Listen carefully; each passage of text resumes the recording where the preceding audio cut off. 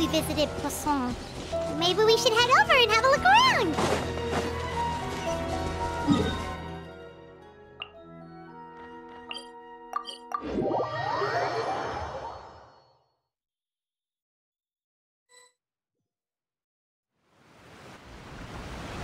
Hey, traveler. Paimon. Oh, Paimon knows that voice!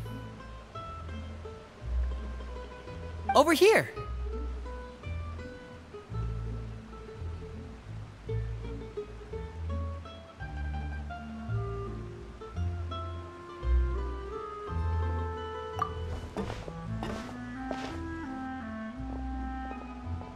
Borrow one of the more popular turns of phrase at the moment, this appears to be quite the fated reunion.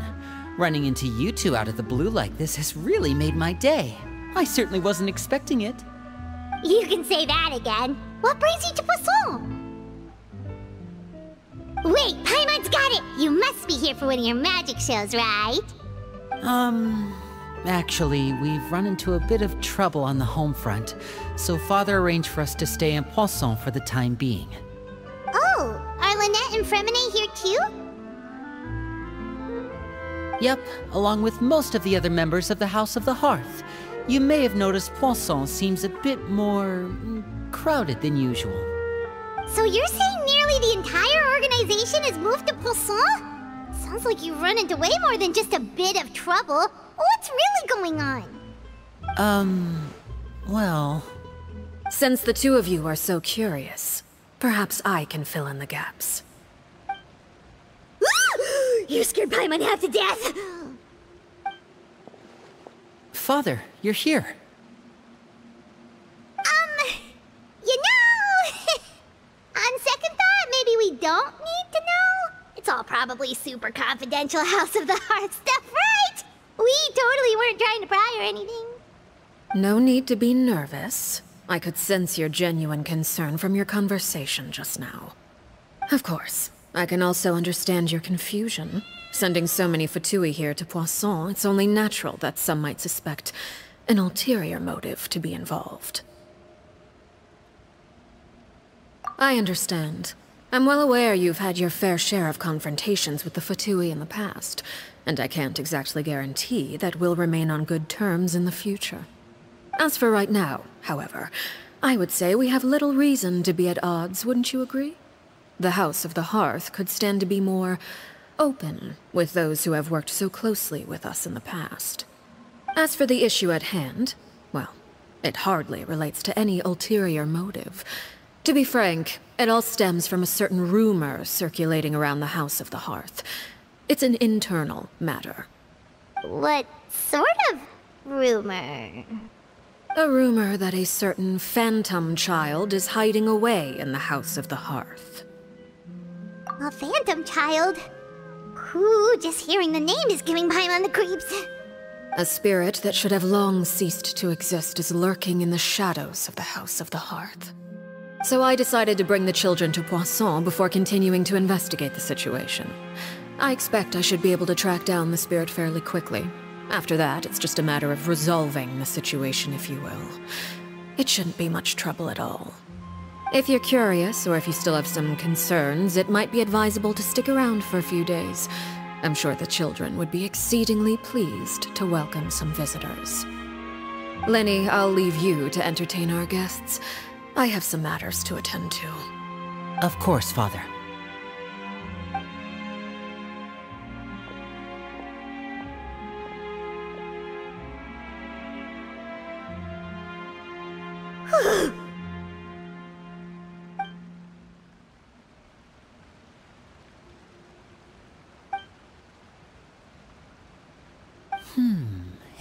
Has long been a dream of mine to invite you to our home and introduce you to my other siblings. You're quite well known in the organization already. A lot of people have been talking about you, especially after everything with the prophecy. If you're willing, why don't you stay a while and have a little chat with us? Hmm. Alright. We don't have anything else to do right now anyway. But let's be clear, we're just gonna be there as guests, okay? Don't get any funny. Oh, wait a second. For your guests, that probably means we'll be treated to lots of yummy food, right? Of course. During our stay in Poisson, we've been helping out the locals with some fishing. We bring in quite the bounty every day. In fact, today is the perfect chance for me to show you what I can do in the kitchen. Let's go. I'll take you to where we're staying.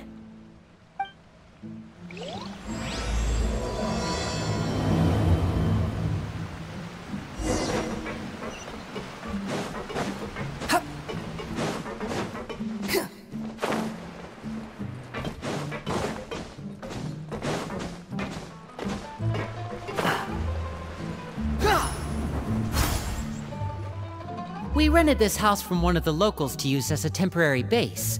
I'll come back later and tidy up a bit. After that, it should be all ready for you to stay in tonight. Awesome, thanks! So, where are we off to now? Well, when I happened to run into you two earlier, I was actually in the middle of distributing some supplies. With this many people staying in Poisson, we have to bring in outside supplies every now and then.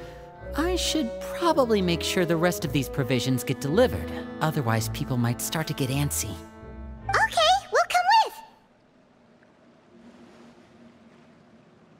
There are all sorts of rumors about your organization floating around out there. Paimon's not sure if she could even take a wild guess as to what's true and what's not. But now that we finally have the chance to see a day in the life of the house, we can take a good look at how you operate! Well, you're more than welcome to come along. Just follow me.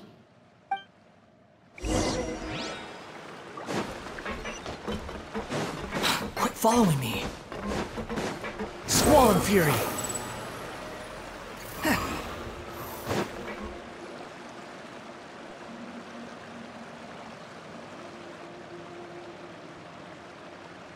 Lyney, we're finally here. The supplies. I'm assuming you've. Brought them with me?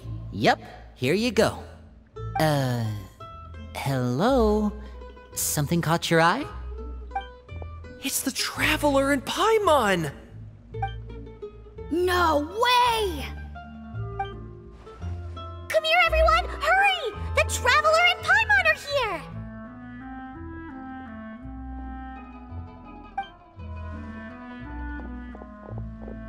One at a time, please. Don't crowd around them all at once. We don't want to scare off our guests now, do we? Oh, it's alright! Gotta say, Paimon didn't realize we were this famous. Of course! Father and Lyney have told us so much about you. Father told us about how you helped Lyney. According to her, you're a trustworthy friend. And as far as she's concerned, that's pretty much the highest compliment we've ever heard her give. As you can imagine, everyone's been very curious about you. I heard the Traveler is so strong that she can move a mountain with her bare hands. I heard Paimon eats so much that she can clean out the entire pantry at Hotel Debord in just three days! Wait a second! That's the rumor you heard about Paimon? Oh, not cool at all! Oh, wait! When guests visit, you're supposed to give them gifts and stuff, right? Oh, we don't need something like that. Besides, we don't have anything to give to you! Come on, we insist! I can give you some of my new potions. Just pick your poison. And by that, I mean medicine or actual poison. I've got both. Huh? Or maybe Shaplo can teach you guys about stealth! He's super good at it! He's never been caught. Ah, now that's not a bad idea. I know you usually prefer to fight head on, but it never hurts to expand your bag of tricks, right? When it comes to eliminating your enemies, staying quiet can go a long way. Trust me, I would know.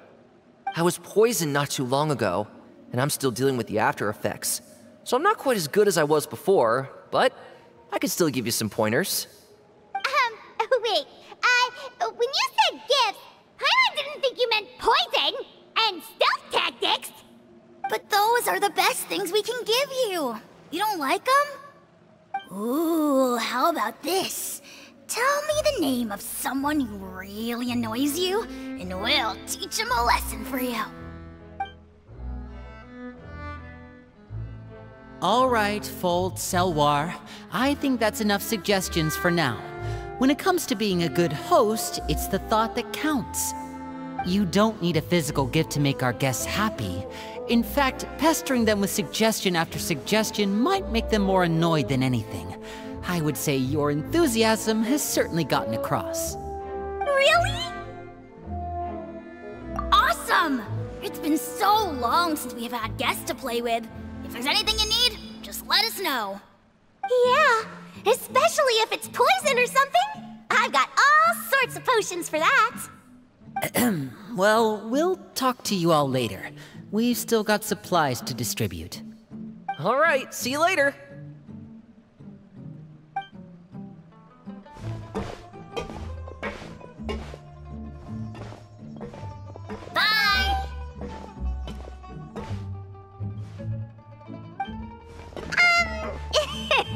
Lyney, about all that poison and stealth tactics talk just now. Scared you, did it? That kind of talk comes with being part of the House of the Hearth. When Foltz was really young, he strangled all of his family pets, just out of curiosity. He was labeled a dangerous problem child and was abandoned by his family. Elwar has an unnatural obsession with potions. Father has forbidden her from trying all the different concoctions she comes up with, but she still tries to test them in secret. You really have to keep an eye on that one. Chaplot is around my age. While I'm mainly responsible for collecting intelligence, he handles surveillance. He's very passionate about his work and has no reservations about taking on some very difficult missions. I know you two probably aren't used to that kind of talk, but I can promise you they only had the best of intentions. Things like stealth tactics and developing different poisons, they really mean a lot to them. They were just trying to share the best of what they could offer, that's all.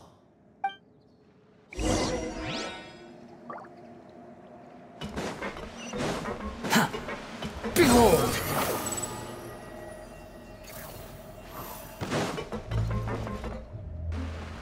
Filial, supplies are here.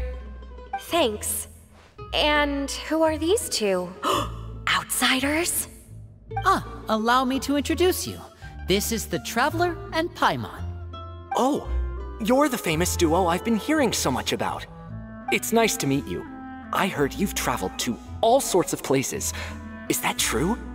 Of course, we're making our way all across to that. Oh, good for you. You must be pretty familiar with Fontaine by now, then. Have you seen the new opera that started running recently? Uh, I think it's called. Uh, the 4,000 Thieves? Oh, this is the first we've heard of it. It seems like it's going to be fantastic. Uh, from what I've been able to tell from the posters, anyway. Uh, you should definitely check it out if you have the time. Oh, and there's The Blind Maiden, too. That one is supposed to have audience interaction. Seems pretty interesting. After this mission is over, I think I'll go get a manicure. Oh, uh, maybe I should dye my hair. Hmm. Wonder how much it'll cost. Um, is it just Paimon, or do these two seem much easier to get along with than the others? Looks like the House of the Hearth has some normal members after all. I heard that. Oh! Uh. Oops. I'm guessing you're referring to Foltz and the others? yeah, we're definitely not all like them. I bet those crazies are practically foaming at the mouth right now. I'm sure they just can't wait to get back to Snezhnaya to carry out the plan. That's enough, Filial. Ah, Don't talk about family members behind their back, right? Whatever. Let's go. Um, guess this is goodbye then. If you ever have some time, we should go see the opera together.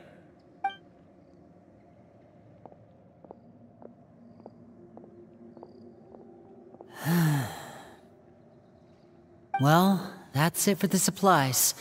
We should probably head back as well.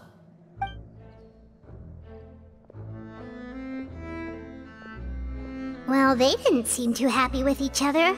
Seems like there could be something more going on here.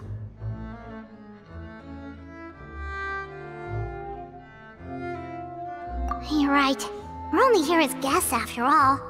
Oh, uh, Lyney's getting super far ahead. Come on, let's catch up.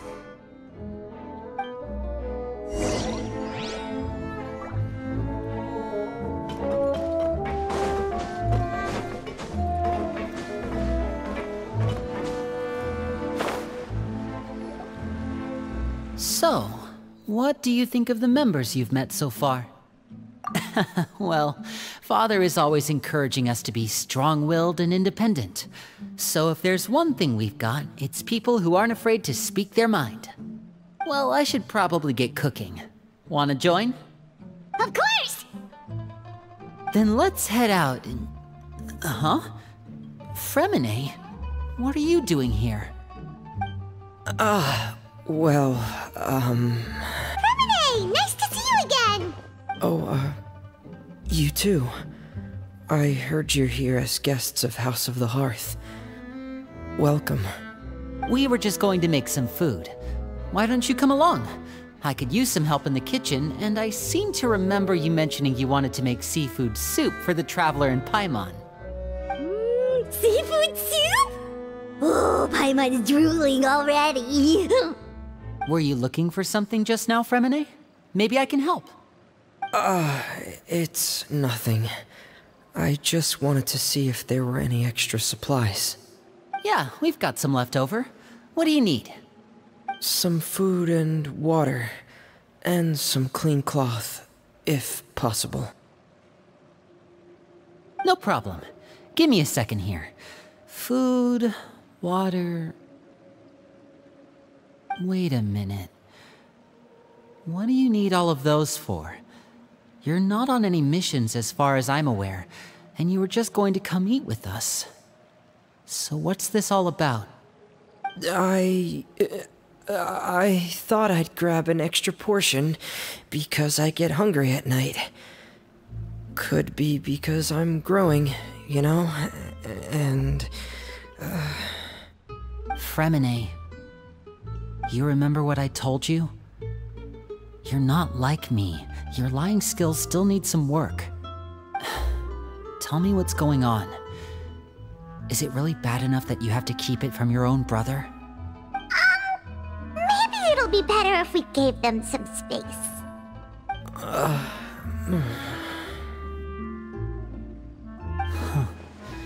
This is the first time I've seen that kind of look on your face. Whatever happened, does it have something to do with father? Yes. Just uh, follow me.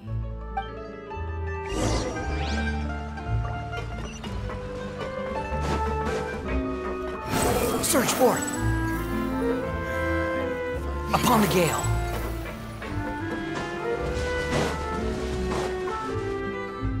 You're back!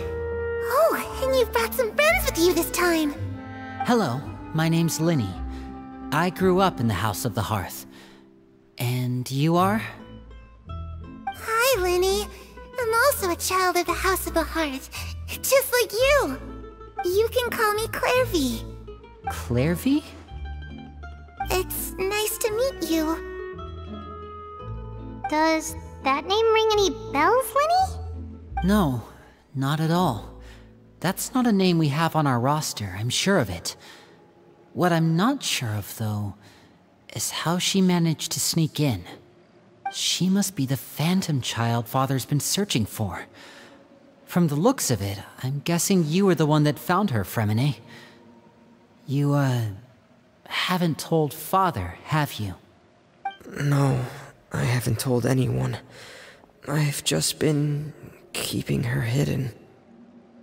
For how long? About half a month now. So ever since we got to Poisson, then, do you have any idea what you're doing? I know what I'm doing. Really? Because from where I'm standing, it looks like you're hiding the very person Father has been trying to find.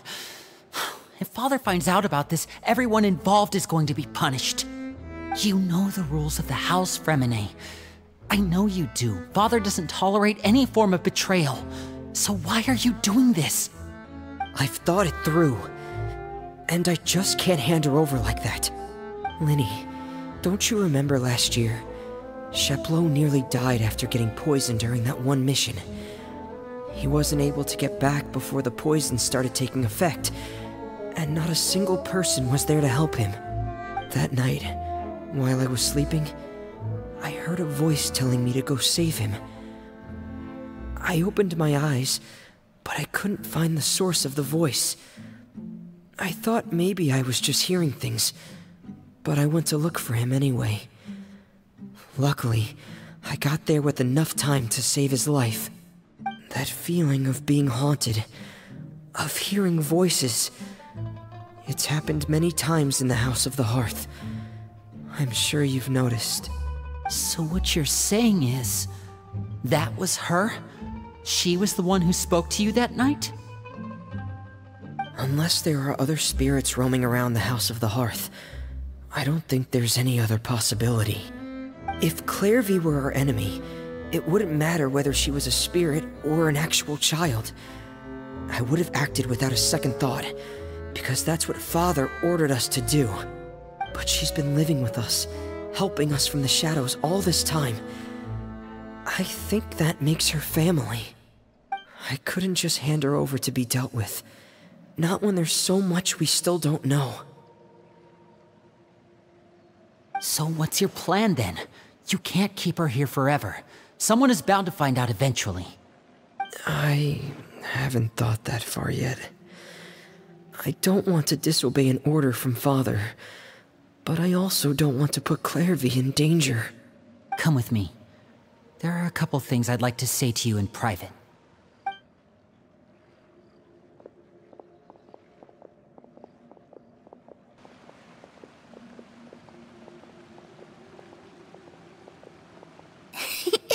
Those two sure care a lot about each other. well, they got a funny way of showing it. From where Paimon was floating, it sure seemed like they were about to bite each other's heads off. No way! They have a really deep bond. I could tell right away, because I also have a friend like that. I just don't know how long that kind of bond can last. The darkness in the house runs deeper than you can imagine. No one can get out alive. I'm sorry, Lyney. I really didn't mean to drag anyone else into this. Oh really? You didn't mean to? Cause I for one wish you did. Huh? What do you mean? You know, when we were younger, you didn't call me Lyney. You called me brother, just like Lynette. We grew up together, the three of us. We were all orphans, all rescued by father. Of all the siblings in the House of the Hearth, I think our bond was the closest. Later on, when you started calling me Lyney, I wasn't actually surprised. After all, Lynette and I are related by blood. We've had to depend on each other to survive long before we joined the house. Lyney, I... The darkest and most difficult moments of my life happened before you and I had ever met. I'm sure that's true for you as well. Even so, Freminet, we've stood by each other for all these years now, and to me, that means more than blood. You and Lynette are the most important people in my life. No one can replace you. So I won't let you face anything alone. Not if I can help it. Oh, looks like things are getting kinda heated between Lyney and Freminet. Eh? Maybe we should go check on them.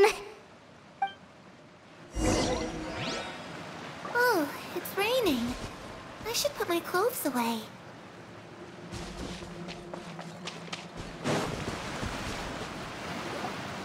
Ah, hey, you two!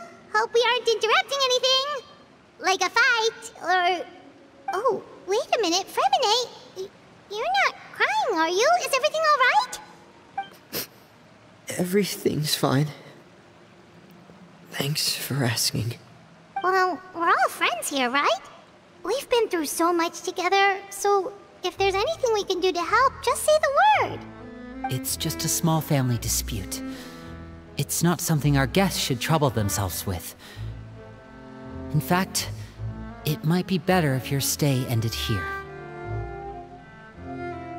Uh, what are you getting at, Traveler? When guests are around, families are often on their best behavior. And any disputes are less likely to escalate. That's what you're trying to say, isn't it? I. just. Thank you. I was really hoping to keep you out of it. But even if I could think of some other reason to turn you away, I'm not sure I could convince you. I know things could turn dangerous, so I promise you this. From now on, I'll protect you like my life depends on it. Me too. Well, back to the matter at hand then. If we don't plan on handing Clervie over to Father, then our only other option is to solve the mystery of her identity before Father is able to track her down. That means finding out where she came from and what she's doing here. Then we can send her on her merry way and pretend like none of this ever happened. I've tried that already. And? And... nothing. I tried taking her somewhere really far away, but... After some time, she just reappeared. She even came with us all the way to Poisson. It seems like wherever the house is, she follows. Hmm. I don't know much about spirits. Do you two have any ideas? I... let's see here. Oh, I... Paimon remembers hearing something like... If you fulfill a spirit's last wish before they die, they'll let go of whatever is keeping them here and return to the ley lines. Oh, it's just that Paimon doesn't really remember where she heard that, so... So, it's not guaranteed to work or anything. Well, sounds like it's worth a shot. Guess that means we should go ask her about her wish. But first... Freminet, I need you to promise me something. What is it? I need you to promise me that this will stay between the two of us. We're the masterminds behind this whole thing. No one else gets involved. Can you do that for me? Of course. I promise. All right. Then let's seal the promise just like when we were kids. Fist bump on three. Ready? One, two, three. I, swear.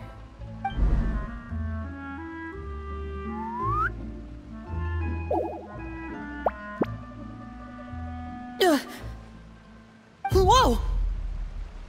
Lynette! But what a surprise! what brings you here, dear sister? And, uh, when exactly did you get here?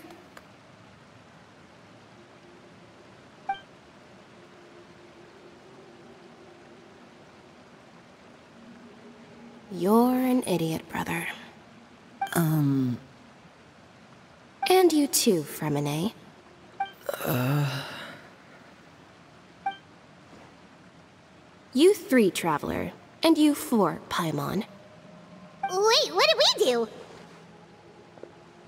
I've seen Clervie around the House of the Hearth before. I hadn't seen her in Poisson, so I figured she must not have come with us. But it turns out, you were just hiding her. I heard you talking about your plan. Rather than steering clear of the situation, I'd rather fully join in.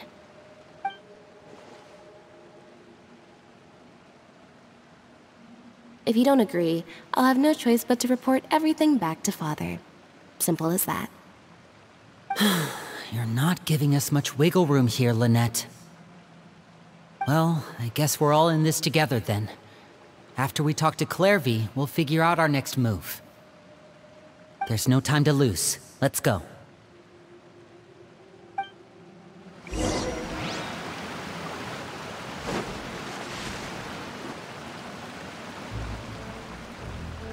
Ah, I'm full.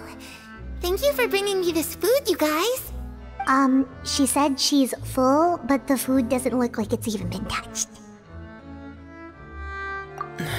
That's right. Based on what I've been able to observe, it doesn't seem like Clervie can interact with the physical world at all. Still, when she's presented with food, she'll always linger around it for a good little while.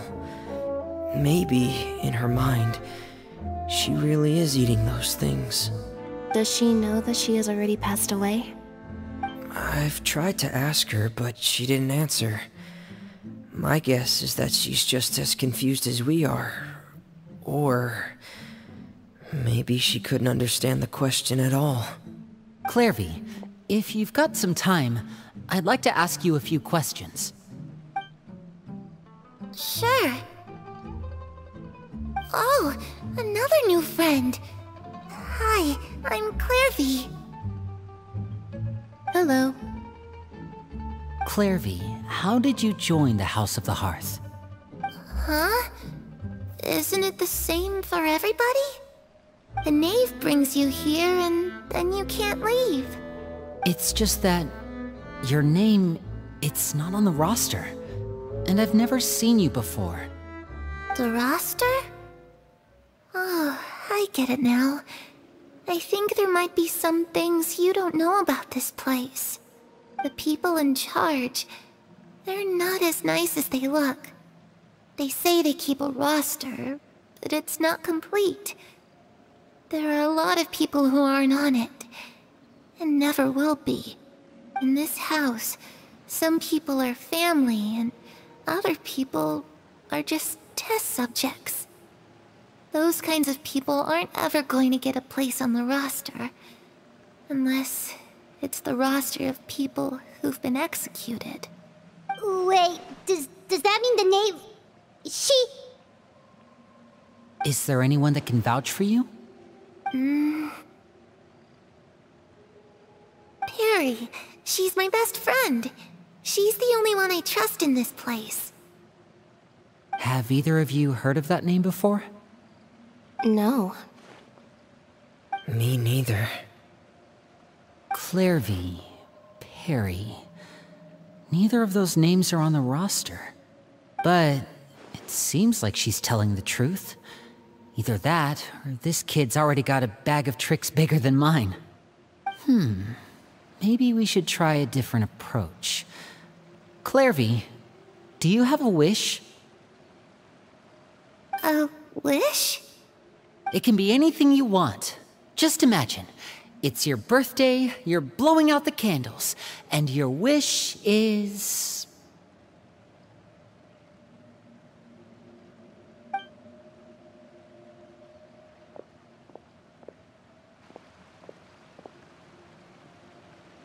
To... to go outside, where the sun can find me. That's... it? Well, that sounds easy enough. Darkness in the house runs deeper than you can imagine. No one can get out alive.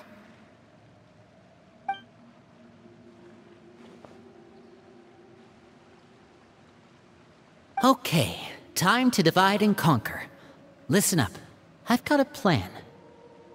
I'll try and find a way to use basic illusory magic to take Clervie outside and bring her somewhere with sunlight. Lynette, try and find the list of executions that Clervie was talking about, and see if her name is on it. Freminet, you stay in Poisson. We can't be the only ones who've had run-ins with Clervie. I need you to collect intel on everything she's said and done. Understood. I'll try my best. What about us? What should we do? I really appreciate your willingness to help, but this is a family matter. I don't want to drag you in too deep. It's too risky. Let me think. Since Father considers you to be guests, maybe you could stick by her side for a little while. You don't need to do anything except keep up some nice, casual conversation. Ah, Paimon gets it. You want us to distract her. I'll give you a magic bird. If Father suspects something, all you need to do is release it when she's not looking, and it'll alert me that something's wrong. Of course, that's only as a last resort. If Father doesn't seem to notice us, there's no need to make contact. We'll reconvene here tonight after all's said and done. If the worst case scenario happens and we're discovered, just tell Father everything. We're not going to let our guests get punished for our own actions. That's where we draw the line. You too. Okay, this is where we part. Father should be at the beach nearby.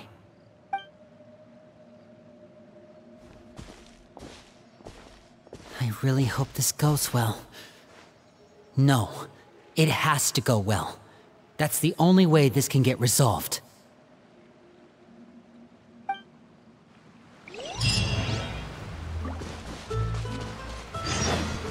Quit following me.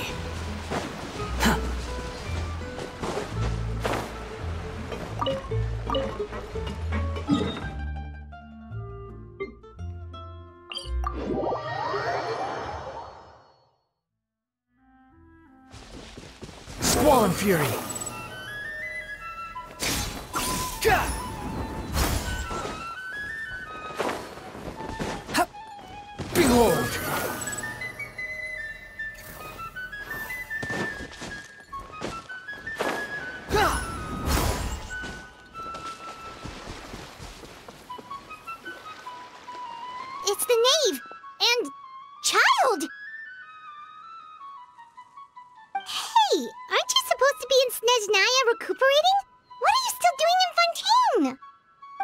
It's you two. I didn't expect to run into you here. I was unconscious for quite a while after the fight in the Primordial Sea. After I woke up, I realized I was being taken back to Snezhnaya, and well, I couldn't have that now, could I? Not when I've still got unfinished business here in Fontaine. So, I mustered up all my strength and made the journey back on my own. What sort of unfinished business are we talking here? It has to do with Skirk, my master. I really wanted to meet up with her, but by the time I got back, she had already left. I still have so many questions for her. Without any other leads, all I could do was ask the knave to help me track her down. She must have left behind some traces from her time in Fontaine. Oh, okay, so have you found any clues? Unfortunately, no. While the House of the Hearth is adept at collecting all manner of intelligence, certain existences can still manage to escape our purview. Basically, unless Master feels there's a need to meet with me, she's not going to be found. But that problem has an easy fix. I just need to become stronger, and then Uh, Paimon thinks you should focus on getting better first. the worst of it is over. It's all thanks to that one kid from the House of the Hearth. Elwar, I think her name was. She gave me a bunch of random potions to drink. They didn't go down easy, let me tell you. Pain and chills all over. But they really did help speed up my recovery. And that's good, because it looks like I really do have to head back this time. The old man's been putting the pressure on me. He sent someone to tell me I'm needed for some sort of project. Project Stuja? Yeah, that's the one. I heard Regrator's involved too. I'm not looking forward to having to listen to all his monologuing, that's for sure. Hey, maybe you could think of a way for me to stay in Fontaine for a little longer. Helping Lyney and the others brush up on their fighting skills would be far more interesting. If you and I could spar, that would be even better. I've been waiting for a chance to see you go all out. And what a sweet little daydream that is. But I also have a role to play in all this. I'll be leaving Fontaine shortly as well. Besides, considering how little they see fit to step outside the homeland, being called on to return to Snezhnaya by such illustrious dignitaries, what a great honor. Wouldn't you agree? One I could do without, I'd say. Uh, is it just Paimon? Or does it kind of seem like they're...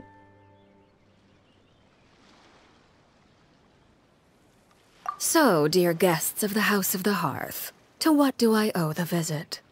Um, well, we just... Um... Right! We're super close to Lyney and the others, but we still don't know much about you! Is that so? Introductions have already been made, have they not? Oh, uh, well, you see? There's only so much you can learn about someone from a short introduction. at least tell us something a little extra. Like, why do you call yourself father? Huh, good question. I'd also like to know. The fact that you have to ask tells me our intelligence work has been quite successful. Telling you the answer to that question would only serve to undermine that success. And we can't have that, now can we? Spoken like a true diplomat. That was some expert sidestepping right there. Well, if there's nothing else, I think I'll take my leave. I still have a small matter to resolve at home. Uh, uh wait, don't go!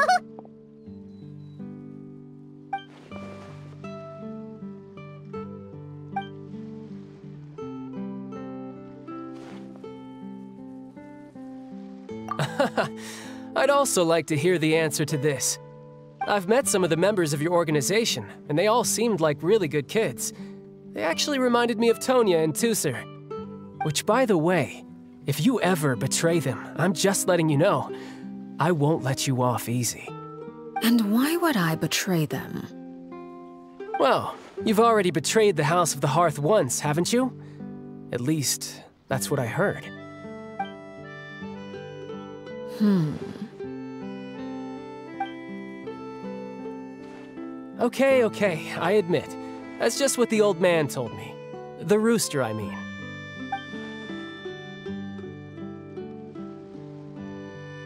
Oh, wait. Did you really do something bad to those kids? Never mind what I've done. I'm more curious as to what the mighty rooster had to say. Care to enlighten me? Ah, well, nothing much. Just some stuff about you taking out many other members of the House of the Hearth, and even going so far to attack your own family. Hmm. I see. Oh, based on your reaction, I'm guessing it's all a bunch of lies. Hardly. I don't appreciate his particular turns of phrase, but I suppose he didn't say anything untrue. Although it would be more accurate to say that there is a certain level of prejudice involved. But I don't intend to clear that up just yet. Prejudice has a funny way of concealing the real truth behind certain things, an attribute that I find to be quite advantageous. Call yourself a Fontainian, for example, and people will assume all sorts of things, when the real truth is that this is simply the land where I was raised. Huh? You're not actually from Fontaine? But then why did you try to help out with the prophecy and everything? I was trying to protect the children born in Fontaine. Claiming that I myself was a Fontainian simply made it easier to operate. People would hardly suspect a fellow Fontainian of having any ulterior motives. Who wouldn't want to save their homeland after all? The primordial sea wouldn't have any effect on me, but it would have caused great harm to the House of the Hearth. Well, you wanted extra information, didn't you? There you go. I hope that satisfied your curiosity.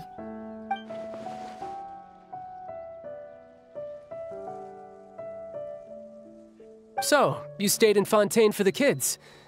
I guess I was wrong to believe you'd betray them. Apologies. Looks like I was holding on to some prejudices myself. Good. Like I said, I like it when others have misconceptions of me. Actually, while I was recuperating at the House of the Hearth, there was something else that really caught my attention. I heard that members always resolve disputes and arguments with a friendly spar, and the loser has to back down. Seems pretty cool if you ask me. Would also give them plenty of opportunities to hone their skills. Well, that's only a recent development. In the past, such spars weren't nearly so... friendly. The losing party would lose everything, including their life. They were that high stakes? Whew, at least that's not a thing anymore. Well, the current atmosphere's not half bad. I'm a bit jealous, actually. You've got so many family members around you, and you even get to live with them. Having a lot of family around means dealing with a considerable amount of bickering and scheming. Once Tonia and Teucer enter their rebellious phase, I'm sure you'll understand. Just imagine. Teucer becomes obsessed with plucking out strands from the rooster's mustache, or Tonia decides to dye her hair 42 different colors. Okay, okay. I get the picture.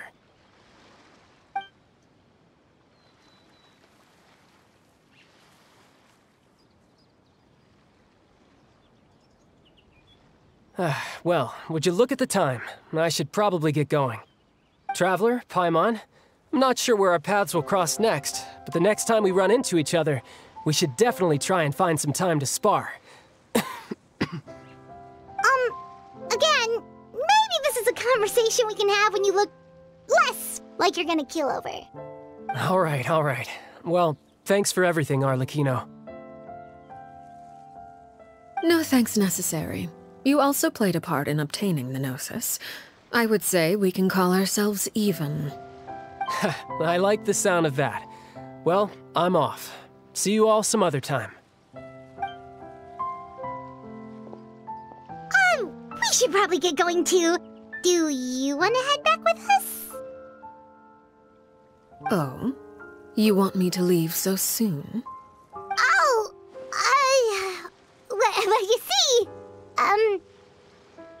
I'm rather enjoying the evening breeze. If you don't mind, I think I'll stick around for a bit.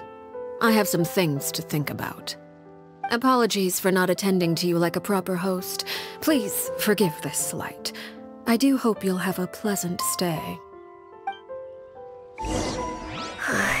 we managed to keep her distracted until nightfall. Good thing Childe was there to keep the conversation going. You don't think she suspected anything, do you? Oh, I wonder if Lyney ran into any issues. Let's hurry back and see how everything went. Oh? You decided to stay a little longer? Let's take in the ocean view together, then.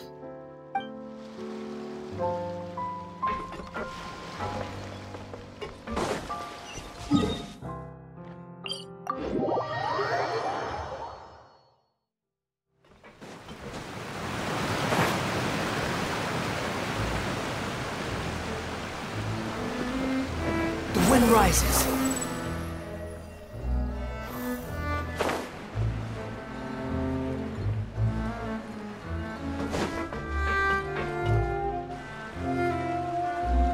Lyney, how did everything go? Well, long story short, we ran into a small issue. Clervie can't go into the sunlight. Everything was fine at first. She followed me up to the surface just like I told her.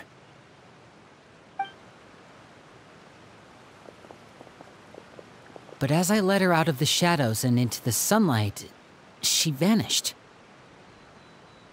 I turned around and there she was, standing at the edge of the shadows, silently watching me. Huh. Maybe she's afraid of sunlight, or... No, it wouldn't be your wish if that were the case. Hmm. Well, we could always try pushing her into it. Oh, true. I've pretty much tried it all already. Nothing worked. Eventually, the sun went down, so all I could do was bring her back here. How did it go with you, Lynette? Good. I've got the list. It's right here. Really? Well, what are we waiting for? Let's take a look!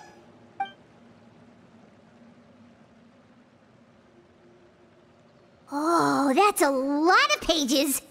Oh, it's gonna take forever to get through it all. We can each take a section. Here. La Pouillade, Landois, Chambel, Horaire.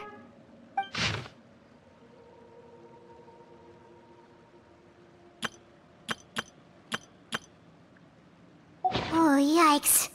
That Horaire guy has a huge scar on his face. He's kinda giving Paimon the creeps. Ah, I've met him before. The scar is from an injury he received during a mission. I still remember him joking with me about it. He said any future lover would take one look at him and then lose all interest. Did he say anything else? Well, I asked if there was someone he was interested in. He said no, and that's where our conversation ended. It was only later that I learned he really did have someone he liked. He risked everything to escape so he could be with her, but uh, it didn't work. One day, Father asked to see him, and, well, I never saw him again after that. Wait, So that means the knave, she... Uh it may seem cruel, but it's just one of the rules of the house. Betrayal is not to be taken lightly. We know too many secrets to come and go as we please. So, if you do try to leave, you pay with your life.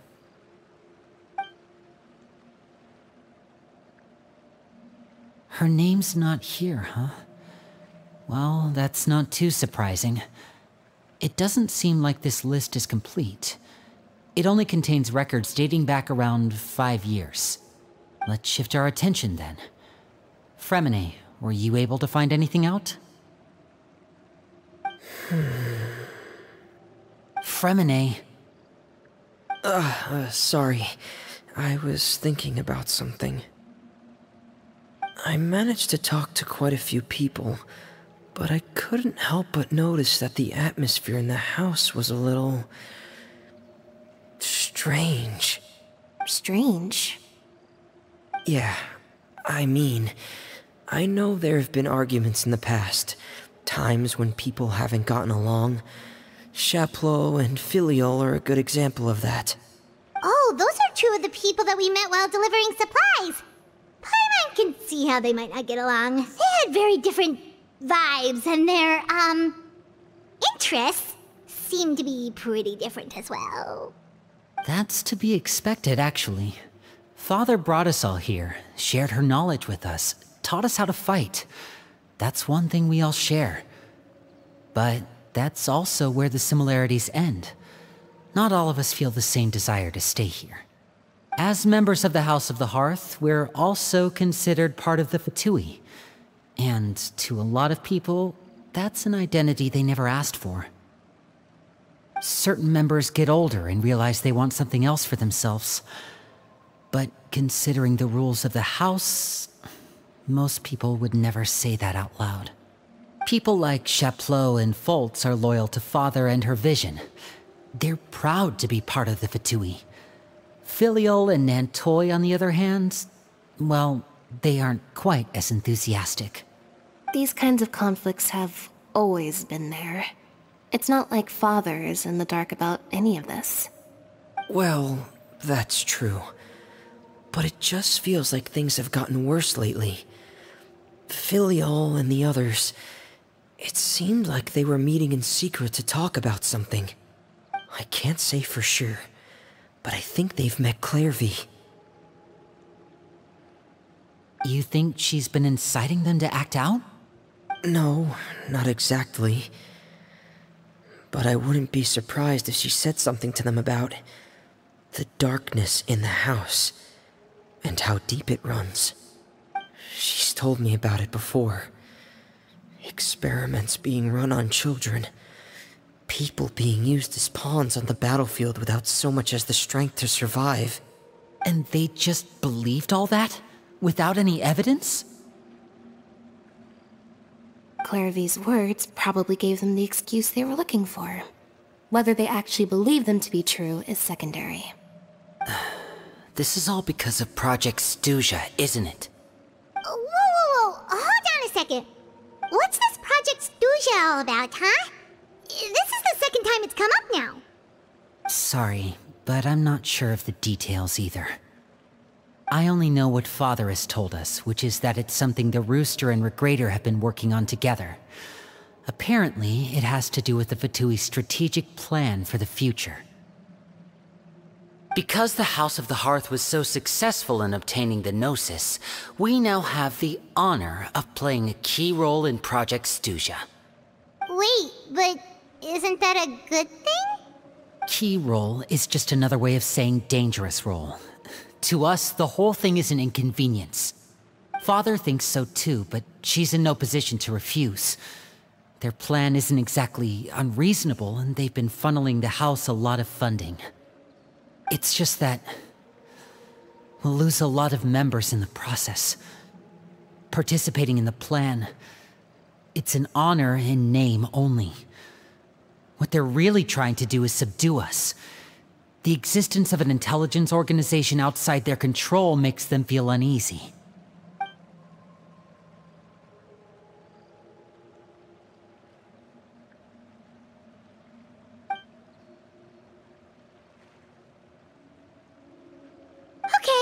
Super complicated top secret Fatui business aside, what does all of this have to do with the conflicts you were talking about earlier? Paimon doesn't get the connection. External pressure has a way of exacerbating internal strife. You can't overlook the power of fear either. People are afraid of dying. And that fear is often the impetus for a lot of stupid decisions. I thought resolving the Clervie situation would make everything go back to normal. But it looks like things are more complicated than I thought. If we leave Filiol and the others to their own devices, sooner or later, Father will be forced to take action. We can only focus on one situation at a time, brother. You're right. Even if we confront Filiol and the others, it won't do any good. It might even make matters worse. We should focus on Clervie for now. Well, it's getting late. We should head back and get some rest. We'll try again first thing tomorrow. Lynette, you stick with me this time. Freminet, keep a close eye on Filiol and the others. Make sure they don't do anything they'll regret. Good work today, everyone. Have a good night, and I'll see you tomorrow.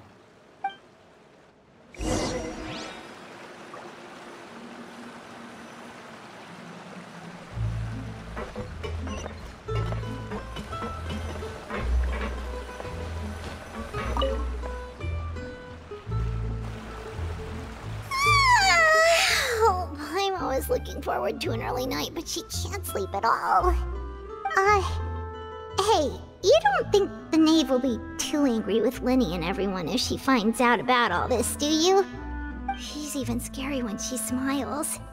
If she were to actually get angry... Ooh, you have to protect Paimon if that happens, okay, Traveler?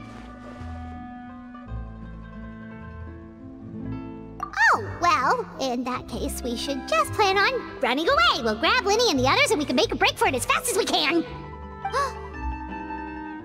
Look! Look over there!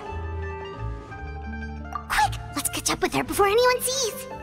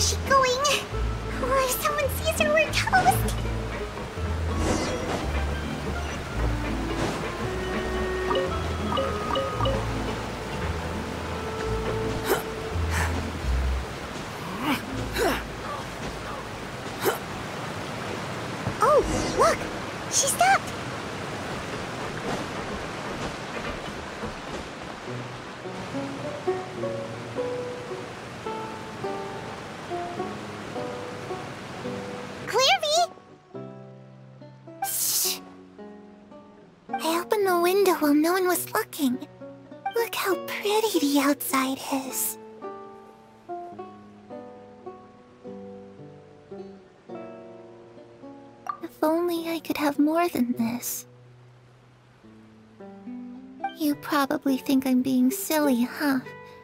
All this hopeless resisting?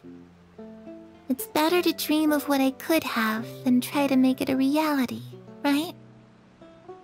Please, help us get on the same page here, Clervie. We need you to tell us what you know. Can you do that? Sure. Although, after you hear all this, I think you might regret that decision. Everyone in this family is nothing more than a tool, something to be used and exploited. We're all expendable, including me. As long as you're useful, you get to stick around. Lose your value, and you're handed over to the doctor, experimented on, and given a fate worse than death. I've seen it happen again and again, and I've had enough. You're saying the knave did all that? It's just, that doesn't seem like something she would do. Uh, She's scary and all, but it seems like even she has lines she wouldn't cross. Hmm. I knew you wouldn't believe me. Everyone thinks she's a good person. They all think of her like a real mother. Mother? But she doesn't deserve that title. She's disgraced it and tarnished it. And if I had things my way, I'd never see her again. If only Perry were here, she'd understand. Perry. There's that name again. Also, Paimon's getting a strange feeling. It almost feels like she's not really here with us. Paimon can't tell if she's actually talking to us or if she's mistaken us for someone else. Hmm. Well, in any case, it seems like she really needs someone to talk to. We should keep her company for a little longer. She looks so young. But it seems like she's been through a lot. it's getting windy. I should close the window. Ooh, look at the moon. Isn't it pretty? Hey, wanna hear a secret? I heard that if you look up at the night sky in Snezhnaya, you can see the aurora. It's supposed to be super pretty. Even prettier than the moon tonight. Perry and I promised each other that once we're older, we're gonna go see it together. But I can't find her. I'm worried she's also been... No, that wouldn't happen to her. She's special. Mother likes her a lot. I should really go talk to Mother, but we just fought. She doesn't want to see me, and I'm too scared to face her. What should I do?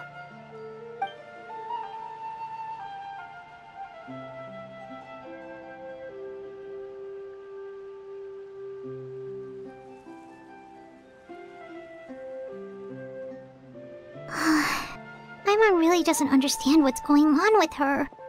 Well, let's head back. We've got an early morning tomorrow.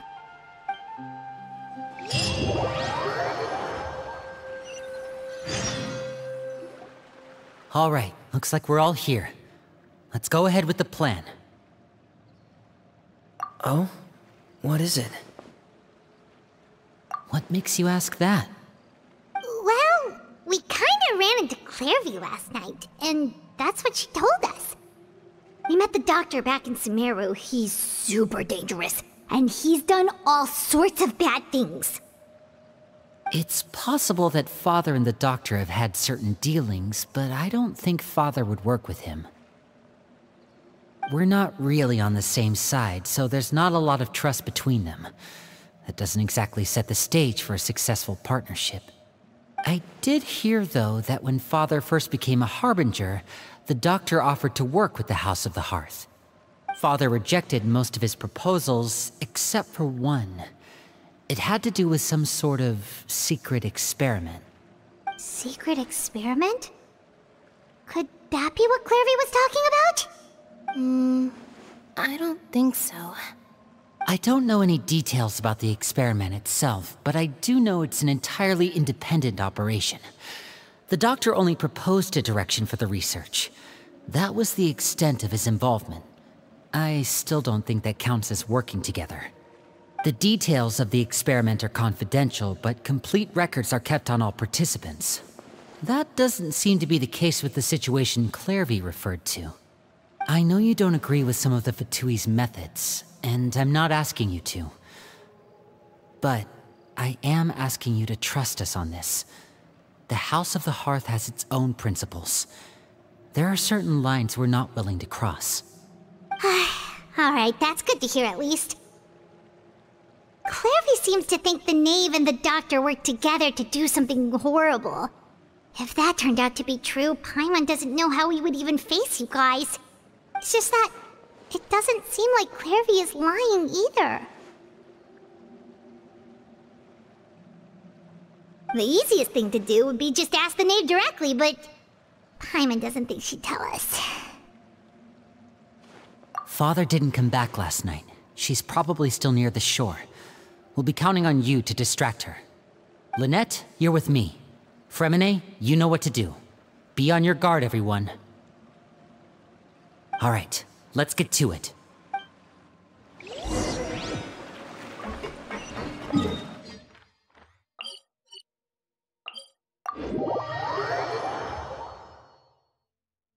The wind rises.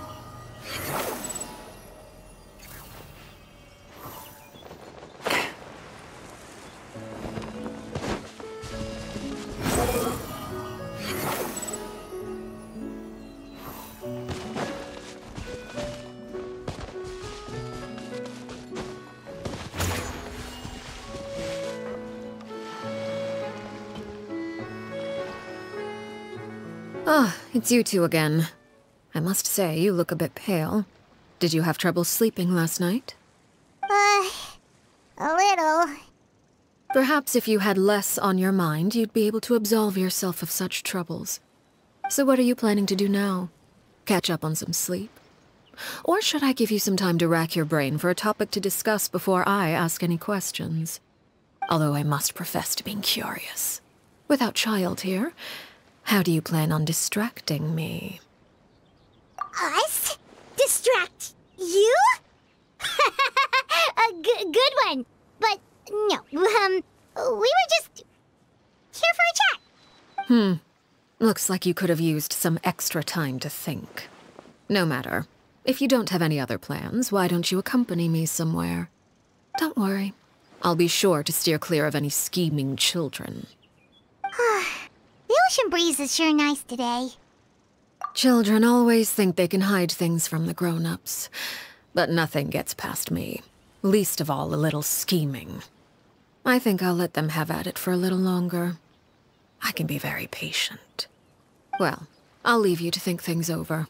If you're so inclined, meet me outside the Palais Mermonia. Good things come to children who do as they're told. So I do hope you decide to tag along. If only for your friends' sakes. What should we do? She clearly knows about everything we've been doing, and Paimon doesn't think it'd be a stretch to say she was threatening us just now.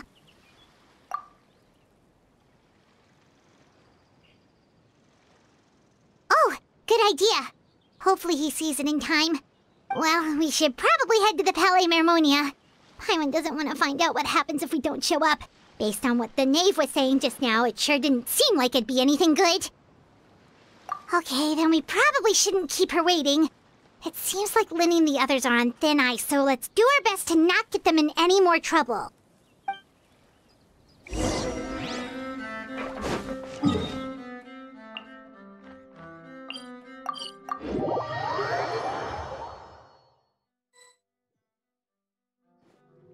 Seeing as we still have some time before my meeting, we might as well enjoy some pleasant conversation while we wait. I'm glad to see you get along with my children. Being surrounded by good companions is necessary for a child's development. You're not planning on doing anything to them, are you? I assume you're referring to Lyney, Lynette, and Freminet. Although, there's that situation with Filiol and Nentoy as well. Hmm. It appears quite a few people have been acting out lately. No matter. I'm not one to discriminate. All those who betray the house meet the same fate. There are no exceptions. Does that mean you're going to kill them? Oh, are you here to beg for their lives? I'm sorry to disappoint, but the rules of the house change for no one. In my organization, everyone is responsible for their own actions. But don't you care about them at all? They really respect you. They even call you father. You must feel something for them. Any organization in which feelings come before principles is one destined for ruin. The House of the Hearth is hardly an exception. You could say our principles are more stringent than most. Perhaps I can offer you this consolation at least. As our guests, you two will not be held accountable along with them. I would imagine Lyney, Lynette, and Freminet will be able to keep their lives. As for Filiol, Nentoy, and the others, I'm afraid there's little I can do. They can try to escape, but once you know our secrets, there's no getting out alive.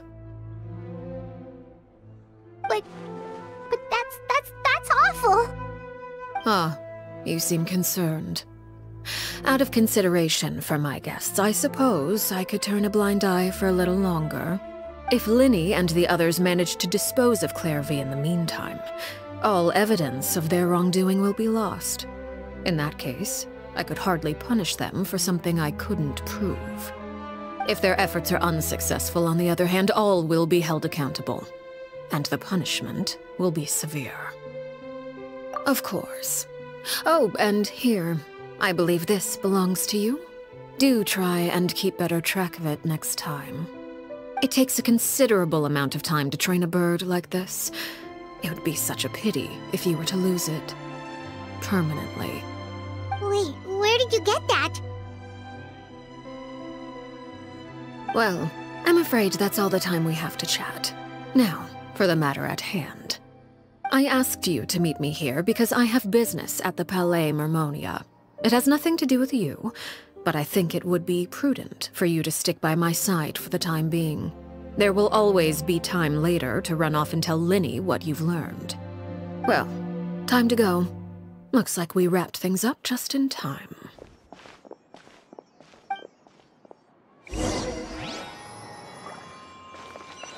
Huh. Quit following me.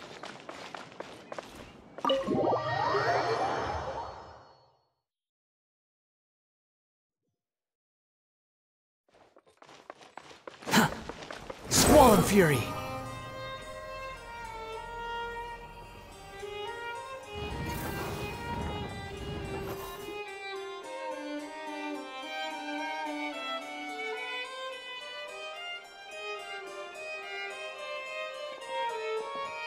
It's been a while, Monsieur Neuvillette.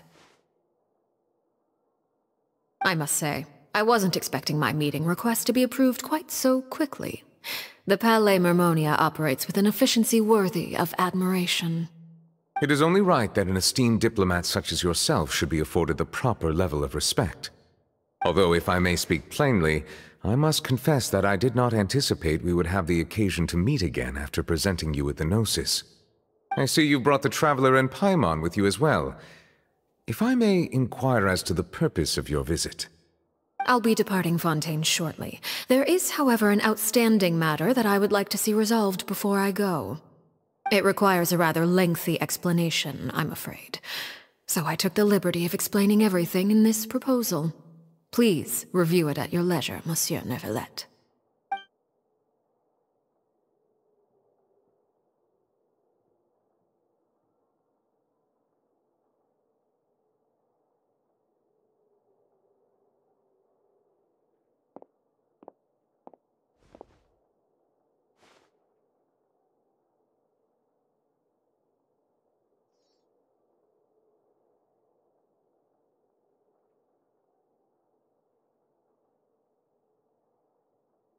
Hmm.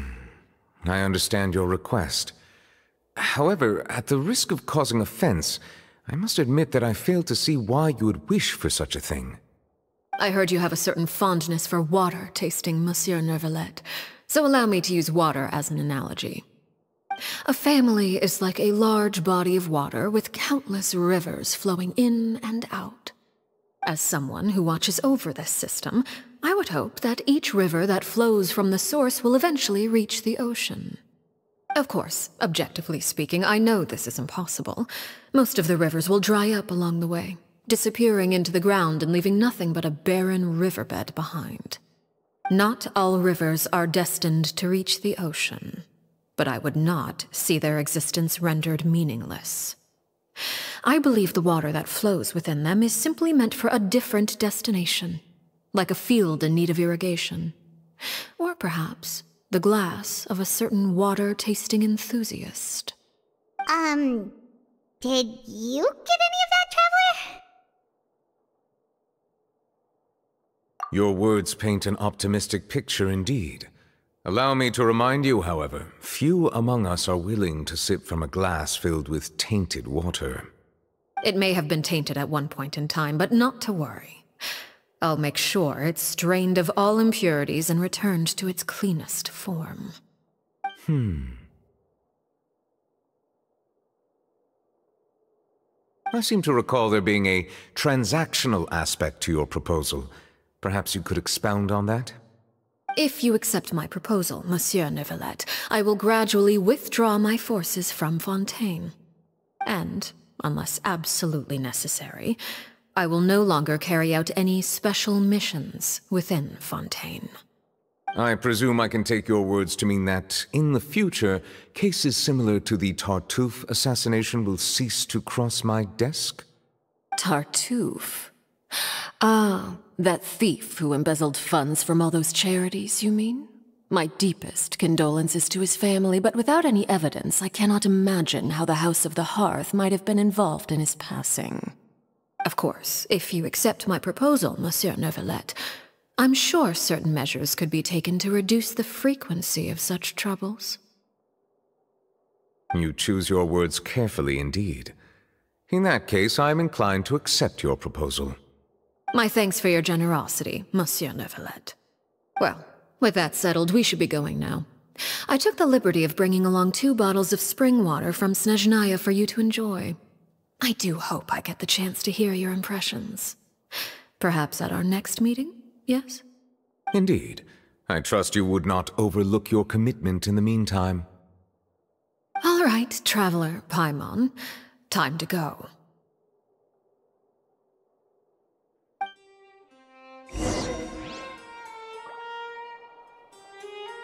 Quit following me.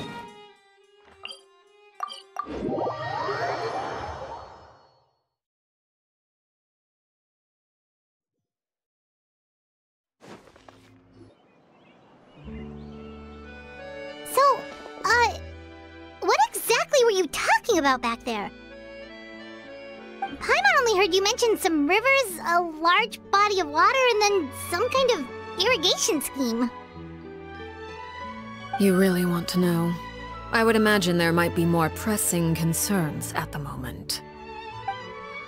Uh, Lyney, Paimon really hopes everything's going okay.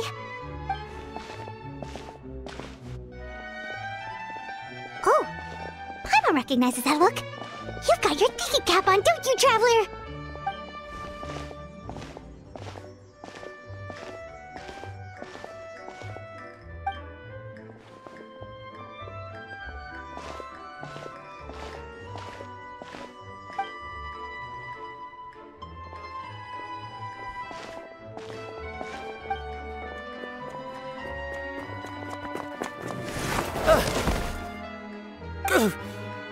Oh, shoot.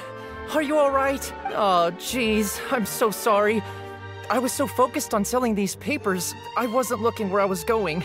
Well, let me make it up to you at least. Here, take this paper. On the house. Oh, you don't have to give us anything. Please, I want to. It's not like I'm short on supply. All the extras will be useless come tomorrow anyway. It's my fault, really. I was just trying to bring home some extra mora for the family, but I bit off more than I can chew. I haven't had many takers today, so I'm still swimming in papers. What's going on here? Uh, nothing much. Uh, I just ran into your friend here on accident. I should probably get going, actually, so... Hold on. Um, of course, I'm happy to compensate you with Mora, it's just... I don't have any on me at the moment. I'll take three papers. Here, your payment. Oh! Thank you for your patronage. May the Archons bless you with good fortune. If only I had the chance to run into such generous customers every day. I should probably just take on a smaller inventory though, right? I'm getting married soon, so sometimes it's hard to not get ahead of myself. Anyway, I should head out. Goodbye! Well, now that my affairs are settled, we should take the boat back to Poisson. We've even acquired some light reading to enjoy along the way. Actually, why don't we uh, stick around for a little longer? Uh, Paimon just realized how hungry she is. She can't head back to Poisson on an empty stomach.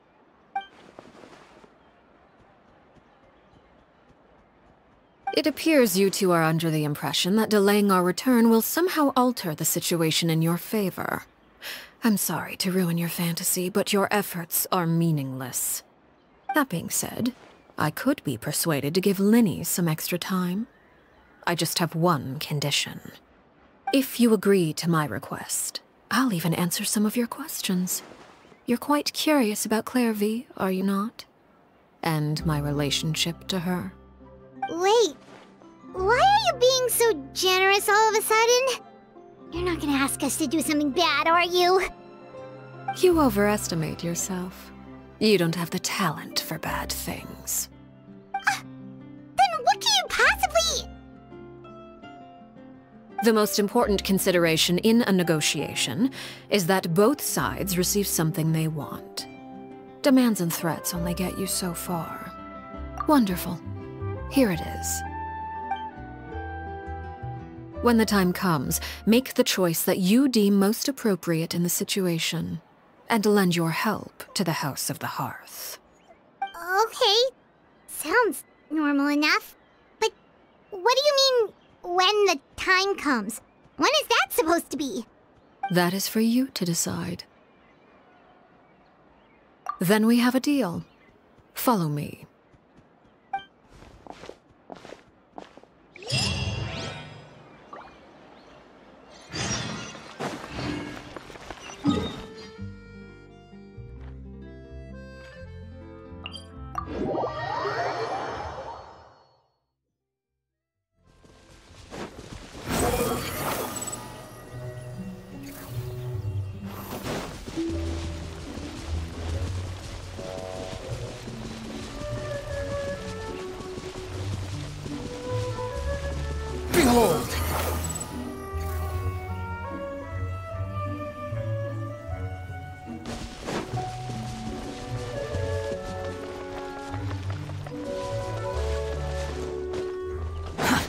Too slow.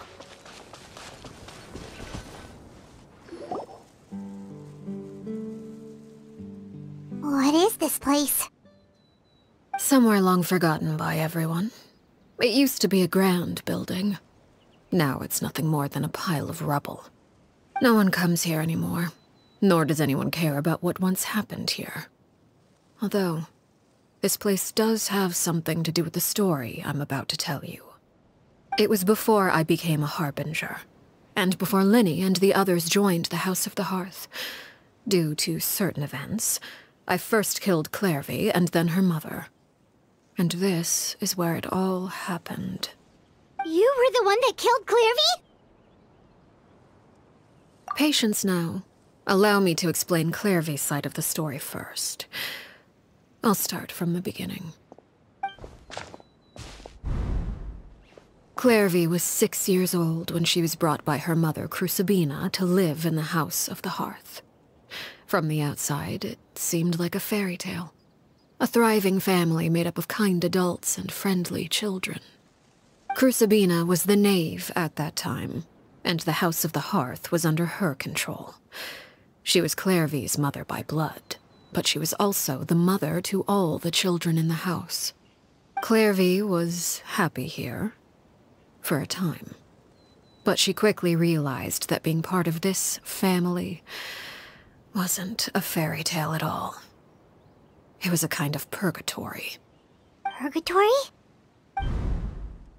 Exactly. The House of the Hearth takes in war orphans from all over Teyvat. But as for how to raise them, that depends entirely on the person in charge. Crucabena came up with a novel idea. She would teach the children to fight, force them to duel each other, and then crown as the king of the house the child who proved themselves most worthy of inheriting her title. It's difficult to estimate the number of children who died or were maimed in the process.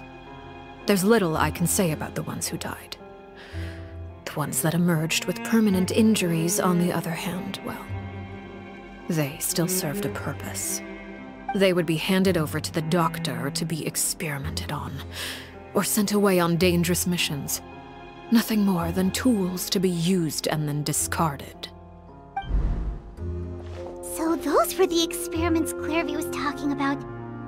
But what actually happened to her? You said that Clervie was Crucabena's daughter, so if Clervie tried to convince her to stop what she was doing, Crucabena probably would have listened, right? Despite being Clervie's mother, Crucabena cared little for her daughter.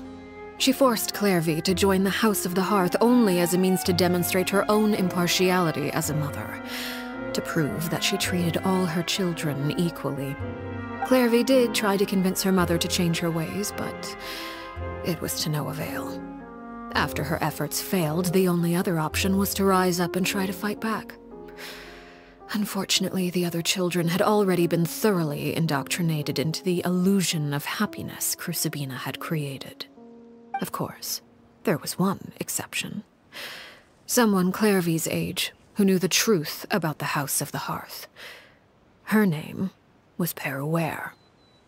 Wait, the friend that Clervie mentioned? Friend, huh? I suppose we can call her that for now. Clervie was a cheerful and passionate person with a tenacious spirit. Peruere, on the other hand, was rather cold-blooded. Her cold-blooded nature allowed her to see through Crucabena's facade. Yet, it was also this cold-bloodedness that prevented her from acting against it. At least at first. While Clervie longed for freedom, Peruere was convinced that, amid all the fighting and violence, she would make it until the end. Despite their differences, the two became fast friends, united by their knowledge of the truth. Clervie told Peruere that she hoped to create a real family, where no one would be killed or sacrificed. There may have been a certain naivete to her ideas, but Clervie proved her determination many times over. She tried countless times to run away, ask for help, or expose the truth. But her efforts only earned her beating after beating. The only thing that kept her going was her strength of will. Even with her body racked with pain, she would still stand on her tiptoes and open the window at night. She and Peruere would look out at the moon together, a fierce longing for freedom shining in her eyes. But one day that light simply vanished. Oh no. What happened? Her hopelessness resulted from a culmination of things. Ten years had passed. Ten years worth of failure after failure.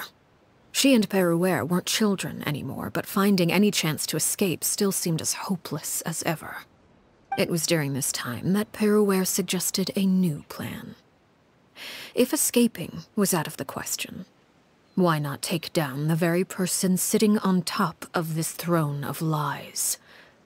Mother herself. Clervie rejected that proposal. She claimed that, as a famous harbinger, Crucabena possessed an unimaginable amount of power. Trying to kill her would have an incredibly low chance of success. Clervie never gave another reason, but Peruere could see it written all over her face. Clervie still thought of Crucabena as her mother. Killing her own flesh and blood was a line she couldn't bring herself to cross.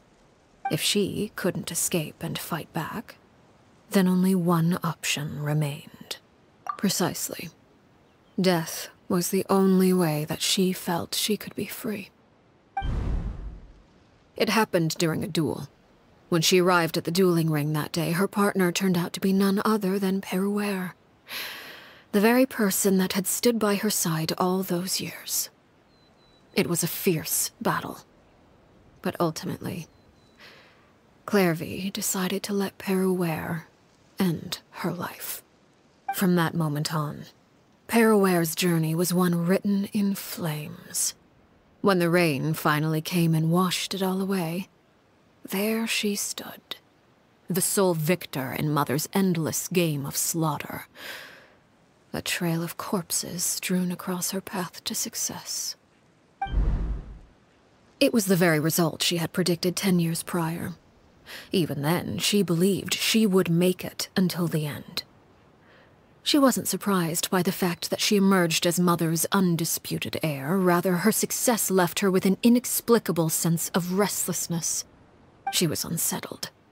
And there was only one thing that could quell that sensation. Perhaps you two would like to take a guess as to what it was? Crucabena, you mean? But... But... Correct. This is the place where Peruere killed her best friend. A mere year later, this is also the place where she fought tooth and nail to kill the mother they shared. The moment she acted, any conception of what was right or wrong ceased to matter. It's one of the principles of the House. Only those who survive get to write the rules. Peruere won the battle, and became a harbinger herself. After which Her Majesty, the Tsaritsa, bestowed upon her a new name. Arlecchino. So the Perry Clervie was talking about... It was you all along. You're Peruere. Arlecchino is just a name you got later. I left that name behind long ago. I must say, hearing it now does bring back memories. After I defeated Crucabena, the moniker of Mother died with her. I chose to forego the title she called herself and even chose to give up my own name. I rebuilt the House of the Hearth under a new identity. Not only as Arlecchino, but as father. And that is where the story ends. Any more questions? Yeah. Based on what you just told us, Clervie wasn't a little kid when she was killed. So the Clervie we met... Was she really a spirit at all? I suppose you could call her an illusion born of flame. Her existence is like ashes to a fire. Something left over in the wake of blaze and ruin. You see, a certain power runs through my veins. It's not unlike a curse. My flames leave behind shadows of anything they consume. Of course, the chances of those shadows morphing into a sentient entity are exceedingly slim. Clervie is a very special case. Clervie died when she was 16 years old. But what emerged from the flames was her six-year-old self. Her appearance wasn't the only thing affected. Most of her memories were lost to the blaze as well. Memory is a mysterious thing indeed. Losing a portion of your memories will alter your sense of self. Lose ten years' worth, however. And it would be like living in the past. Like returning to a version of yourself that never grew up. No wonder Paimon got such a weird feeling when we were talking to her. Perhaps I should put it this way. Clervie is someone trapped in time. It may seem like she exists with us in the present, but she truly lives in the confines of her own past. So if all of that is true, then you must have known about Clervie for a long time. Indeed.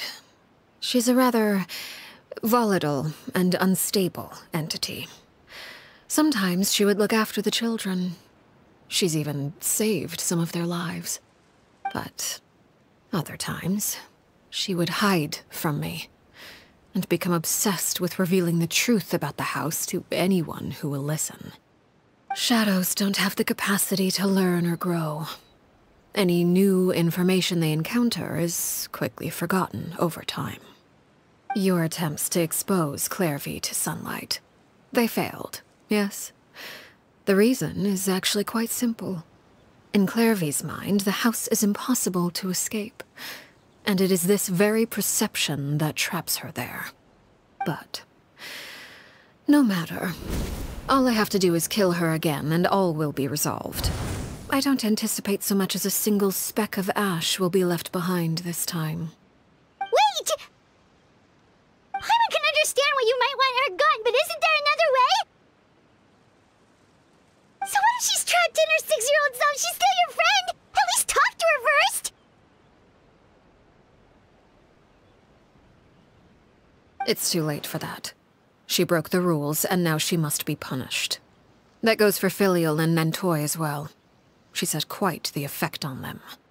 I hope you understand. The difference between Crucabena and myself lies in our formulation of the rules, not our policy for enforcing them. Upholding the rules without question is a trait we both share. Because that is how a household should be run. Is this really what you want to do? Whatever could you mean? Don't you want to say a proper goodbye at least?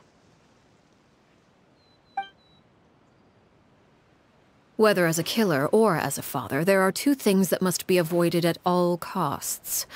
Anger and sorrow. Anger makes you impulsive. Sorrow causes you to waver. Well, it appears it's about time to proceed. Before we arrived, I told some of my well-behaved children to bring our troublemakers here by nightfall. I do believe I've kept my end of the deal. I gave your friends quite a bit more time. As for what happens now, we'll just have to wait and see.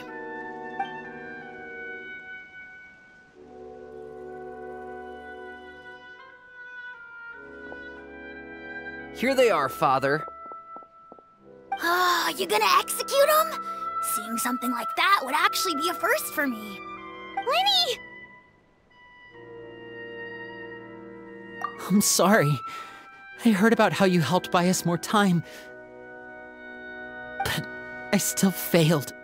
I couldn't find a way to fulfill her wish. Huh? Are you... Perry? Indeed, it's been a while, Clervie. Perry!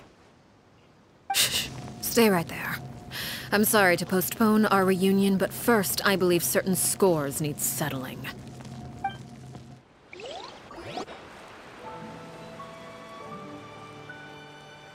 Father, let me explain. Out of my way. Father! You chose to conceal a threat to the house. And for that, you must be punished. Overall, however, I suppose your wrongdoing is hardly the most egregious of the bunch, so I'll deal with your punishments later. As for right now, the more pressing concerns are the traitors among us. By traitors? Do you mean us? Father, let me explain. We didn't mean to. Fultz, why don't you share what you heard? Yes, Father. Secret Midnight Meeting number three. Participants, Filiol, Nantoy, Sato, Toddy. Nantoy clearly said, if only Father wasn't the one who took us in. Sato added, I'm sick of this life. I just want to live as a normal person. Filiol was the worst of them all. She called us crazies and said a bunch of mean things about Father. I did not! You're... you're lying! Fultz is trying to frame us! It's not like I'm the only one who heard those things. After that, you and Toddy and a bunch of other people started talking about Clervie. You were using all those things Clervie brought up as an excuse to question Father. We're birds locked in a cage. The only way out is to destroy it. That's what you said, wasn't it? You little... You just want me gone, don't you? What did I ever do to you, huh? And you, Sheplo, have you forgotten who stood by your sickbed, watched over you, and changed your dressings? Come on, let's hear it then. What's your reason for all this? Uh, uh... You're wrong, Filiol. We don't want you to die. You're our family. Liar. You wouldn't be doing this if that were the case. So why? Why have you backed us into a corner? We all live in the House of the Hearth. You know the type of work we do, Filiol. A single betrayal can cost dozens of us our lives. It's not like it's never happened before. That kind of thing is hard to forget.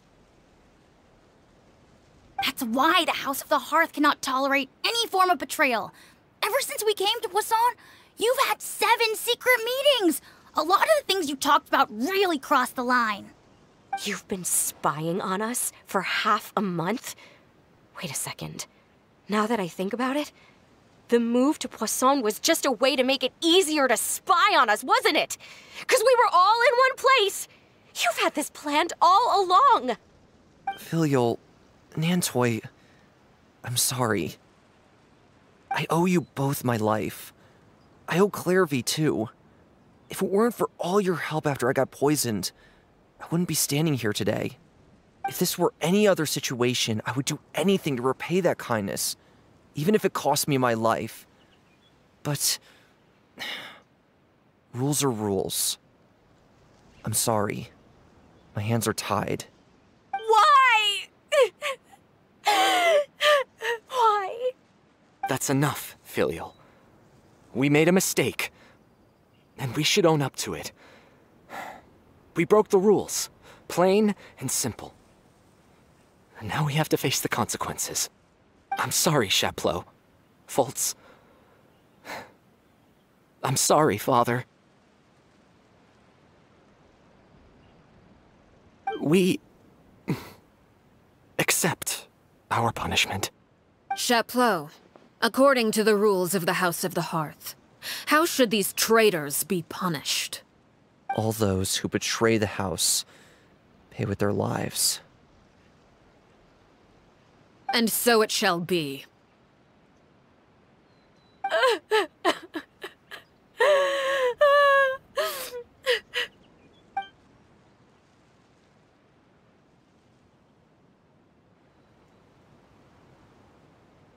Father, please wait! Something you want to say, Lyney? Please reconsider, Father. What Filiol and the others did, does it really count as betrayal? We all come from broken families. From the very first day we joined the House of the Hearth, we wanted nothing more than to make it a real home. But the truth is, none of us know what a real home should look like. I'm not saying I have all the answers. All I know is this. Killing Filiol and the others may uphold the rules, but doing so will only bring us further away from being a real family than we've ever been. So please, Father, please reconsider. I agree with Lyney.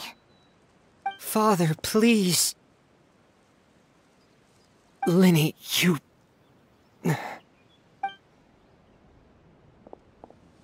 I also agree with Lyney.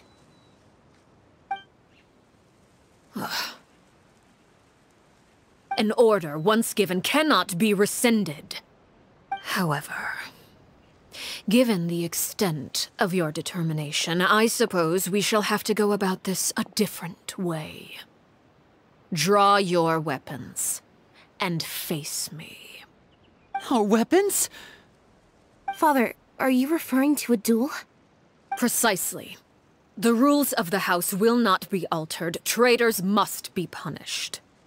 However, resolving disputes with a duel is also one of our rules, one that also applies to me. Demonstrate a sufficient showing of strength, and I shall offer a concession. Wait. Beat Father in a duel? Impossible. Father is way too strong, even for Lyney.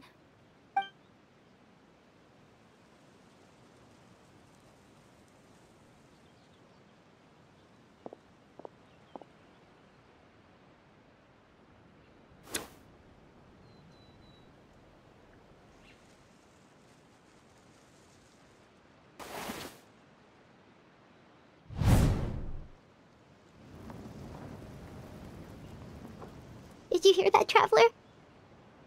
Lyney and the others have to duel the knave. What should we do? Can they really win something like that? If they lose, those people from the house are really gonna be executed. Hey, are you listening?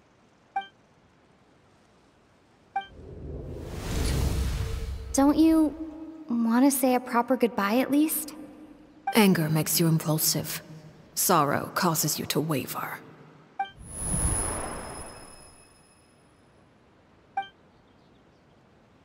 Oh, looking at that expression on her face, she seems really serious about this. Guess that means there's no chance she's throwing the duel on purpose, huh? When guests are around, families are often on their best behavior. And any disputes are less likely to escalate. When the time comes, make the choice that you deem most appropriate in the situation, and lend your help to the House of the Hearth. What's wrong? Traveler? Hey, where are you going? Traveler?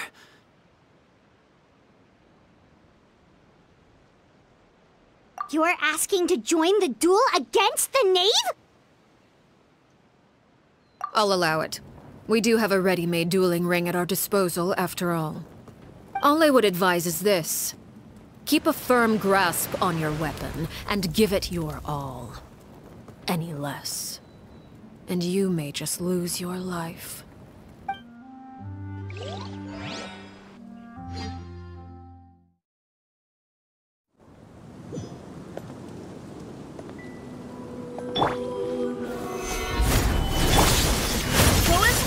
Is it my Swear by turn my now? sword! Trust code! Scatter! Unsightly insects. Order guide you. Closer now. Watch out for Father's movements!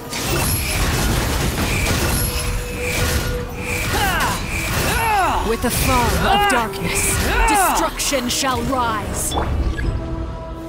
Have a taste of purgatory. Are you alright? Look at ah! you. Trapped like a bunch of helpless Upon the gale. animals. Is it my turn now? Stabilize. I will have order. Go as planned! Look out! The countdown has begun. Like a fly tangled in a web. You dare to gaze upon me? Delicate as silk!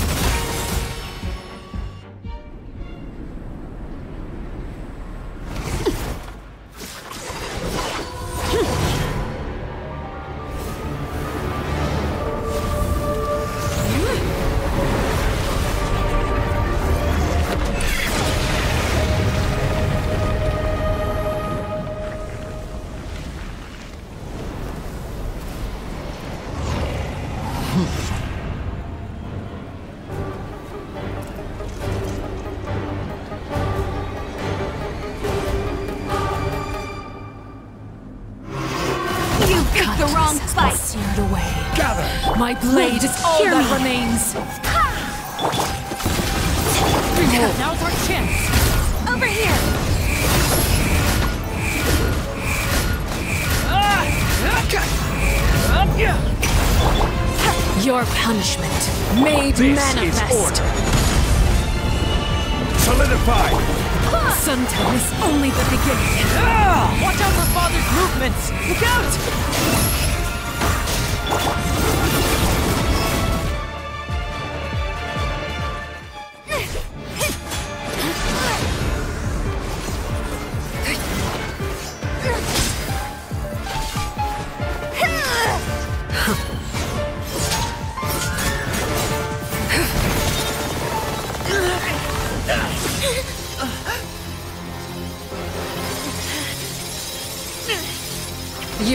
better than to crowd in one place.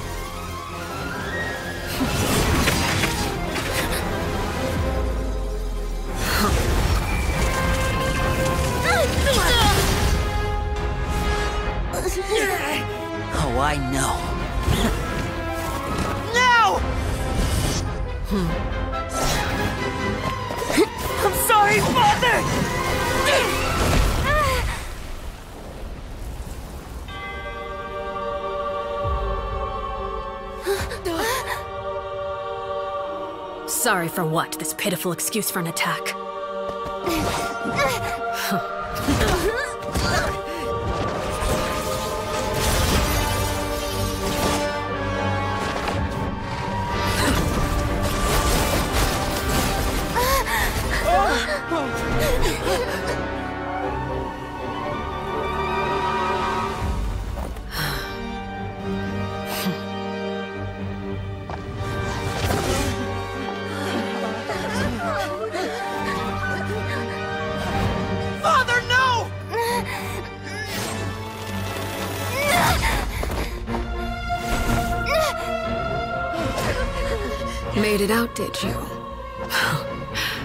You're stronger than I expected.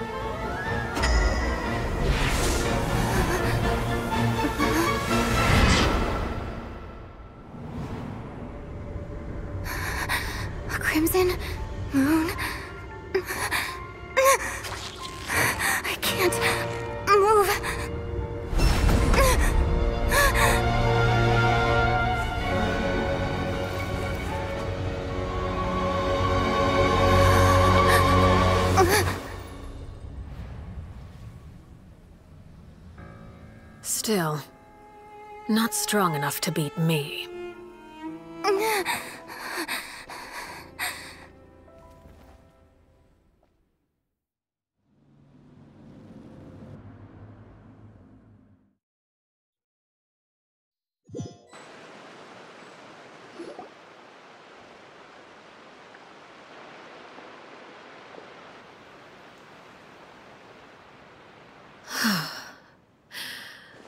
I believe we can end things here.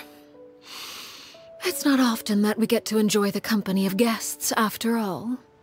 We wouldn't want things to get too out of hand. Brother, are you alright? Lyney! Given that I am the victor of this duel, as agreed, the punishment stands. No! I never thought things would end like this. However, everyone involved in the duel demonstrated a remarkable level of strength and determination. In light of this, I'm prepared to change the method of execution. Elwar, the bottled flames I gave you for safekeeping. Do you still have them? Y yes? I wasn't sure what they were for, but I've kept them super safe. I didn't lose a single one. Wonderful. Then, in just a moment, I'll have you administer them. Bottled flames?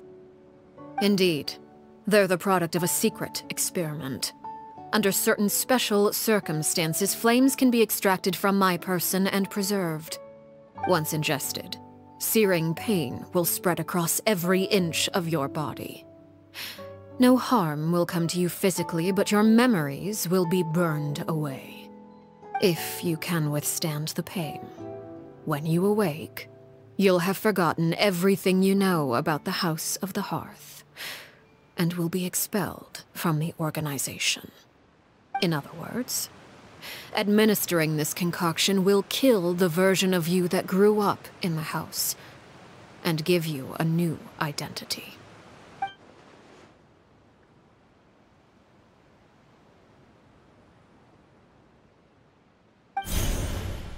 Memory is a mysterious thing indeed.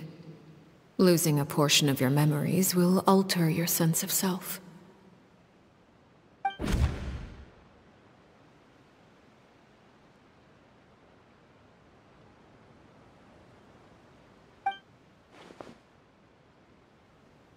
So, you're just letting us go, Father? You misunderstand. Memories are extremely important. Once consumed by flame, the version of you standing before me will die, and our secrets will die with you. So no, I don't intend to just let you go, because the person who survives will be nothing but a stranger. Even so, even so,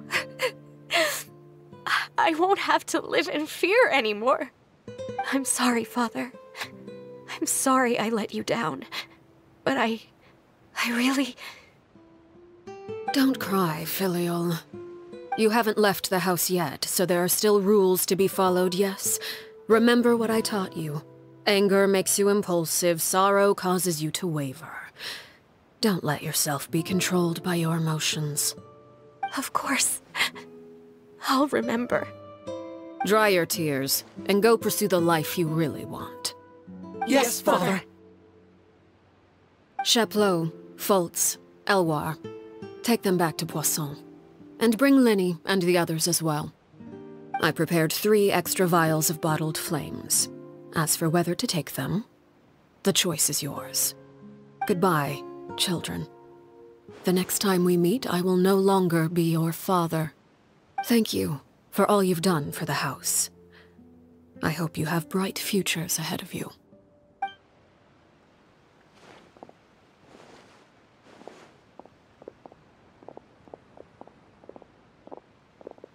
Father. Let's go.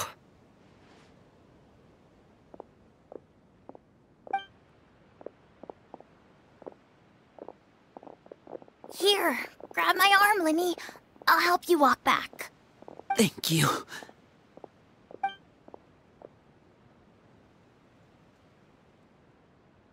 Clervie.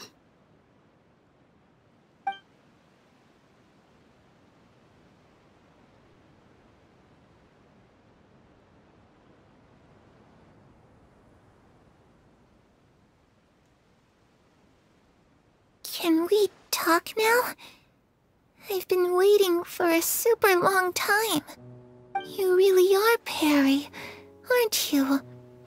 I haven't seen you in so long. How come you're all grown up? Wait, did I somehow travel to the future on accident? Or am I dreaming? What a long dream. Neither. You died, Clervie. That's what happened. You could have at least sugarcoated it a little. Look, she's done speechless. Uh, oh. Okay then. Huh? That's it? You accepted it just like that? Yep. If that's what Perry says happened, then I believe her. Perry wouldn't lie to me. Plus, I don't really need to know why I'm like this. I'm more curious about what happens in the future. If you're a harbinger now, Perry, that means Mother is gone, isn't she? Can you tell me about it? I want to know what happened to her. And to me. You never stopped trying to defy fate. At first, no one believed you. You could only vent your frustrations to the moon. In fact, you often sought comfort in the night sky. You wanted to see the aurora, so one night we promised each other we would go to Snezhnaya to see it together. Later on, you tried to run away, but you were brought back each time.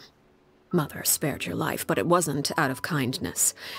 Instead, she decided to make an example of you by slowly torturing you over time. That way, the other children would know what happens to traitors. Still, you never gave up. Mother hoped that through ruthless duel after ruthless duel, she would be able to crown an ultimate victor among the children she raised. But you called on everyone to unite, to fight to a draw in order to reduce casualties. Your efforts may have only delayed the inevitable, but still. You gave them hope. You tried everything you could think of, but every attempt ended in failure. Still, you never turned your sword on Crucabena, and you never turned it on me. On that gloomy day, you told me, For the last 16 years of my life, I've done everything I can to fight for freedom. But now, I realize that the only freedom I truly possess is the freedom to choose to die. I never imagined I would say something like that. I must have been feeling really worn down. But somehow, I still think I understand. According to Mother's plan, only one of us was going to make it until the end. And I always hoped that person would be you. If I could do it all over again, I still don't think I would make a different choice. Even when I first met you, I knew you'd be able to do what I couldn't. Is that so? Even now, I'm not sure I truly understand what kind of freedom you were trying to pursue.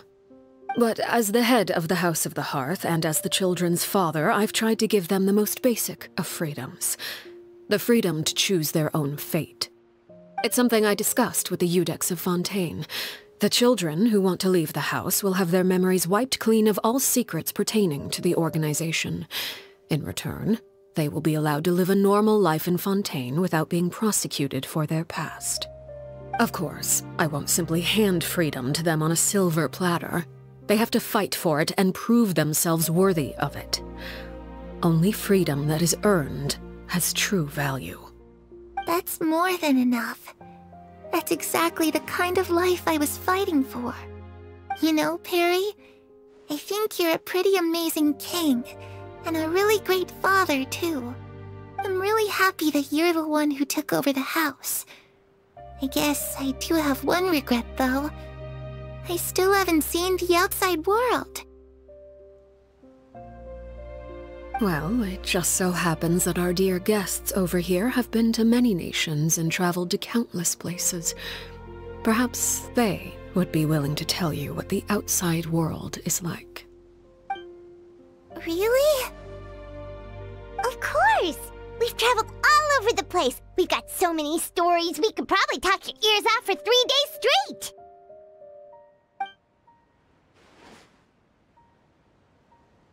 You know, I used to dream of being a bard. Playing the lute while singing into the winds of freedom. Even if there was no one there to listen, I would have continued to sing no matter what.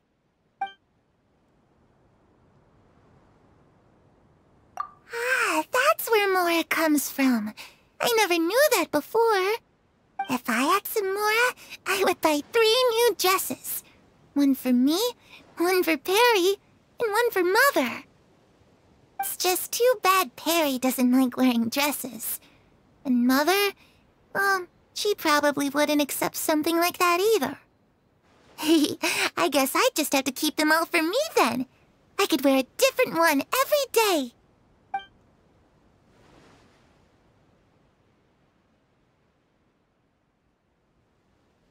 Those yokai you mentioned, what do they look like? I once saw a drawing of this one guy with horns on his head and a super scary face. Are there any yokai like that? Oh, sounds like you're talking about an Oni. Yep, we've met one, and let Paimon tell you, they're not nearly as scary as they look. I was always too afraid to skip Mother's fighting lessons. But at the Akademiya, I bet you could do all sorts of secret things in class. Things that have nothing to do with studying. I'm just kidding. Being able to study whatever you want without having to fear for your life actually sounds pretty great.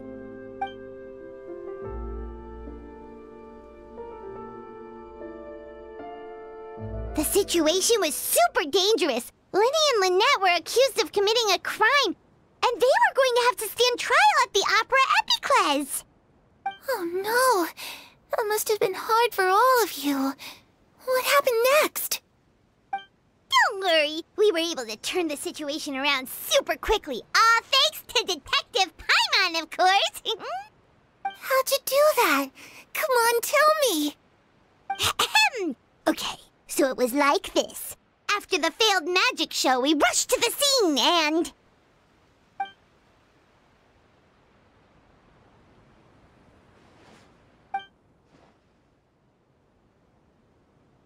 Shadows don't have the capacity to learn or grow. Any new information they encounter is quickly forgotten over time.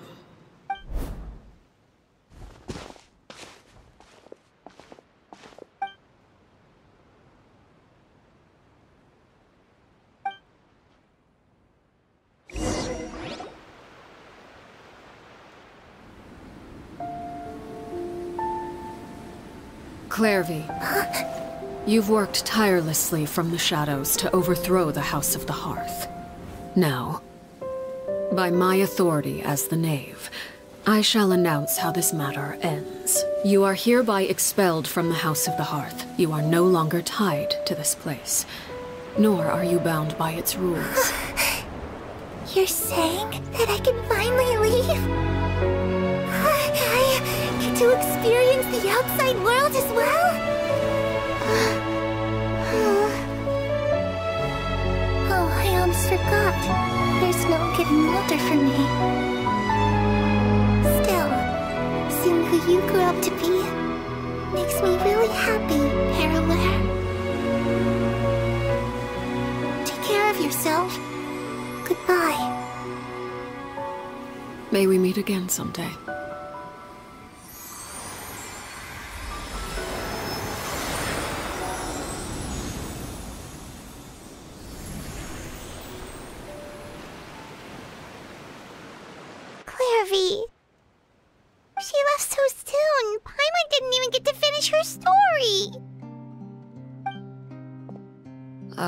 Also have certain sentiments left unsaid. I wanted to tell her that the aurora I saw in Snezhnaya was just as beautiful as the ones in the pictures. But a shadow's memories reset at dawn. Had we delayed any longer, we wouldn't have had the time to say goodbye. Whatever regrets may linger, let them be lost to the coming of a new day. Father? It's Lyney! Hey, Lyney!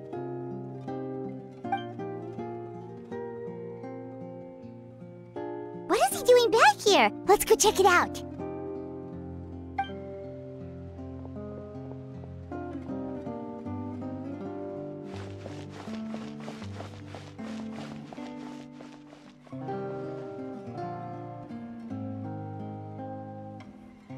Father, the bottled flames have been administered.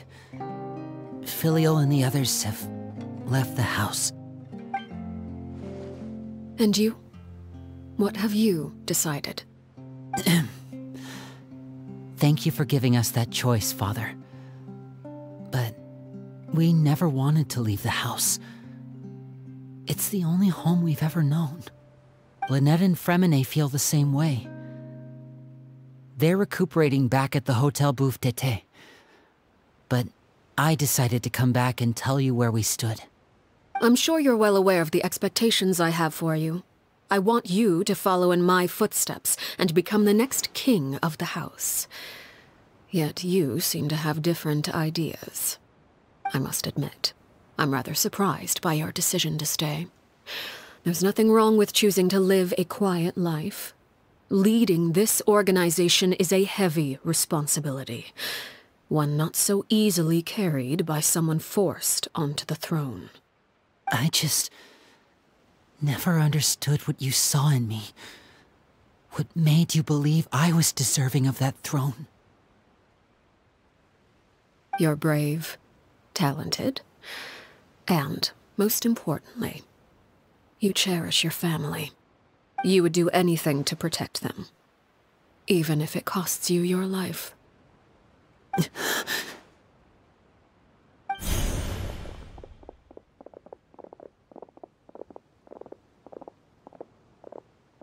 Speaking up back there was so brave of you, Lyney.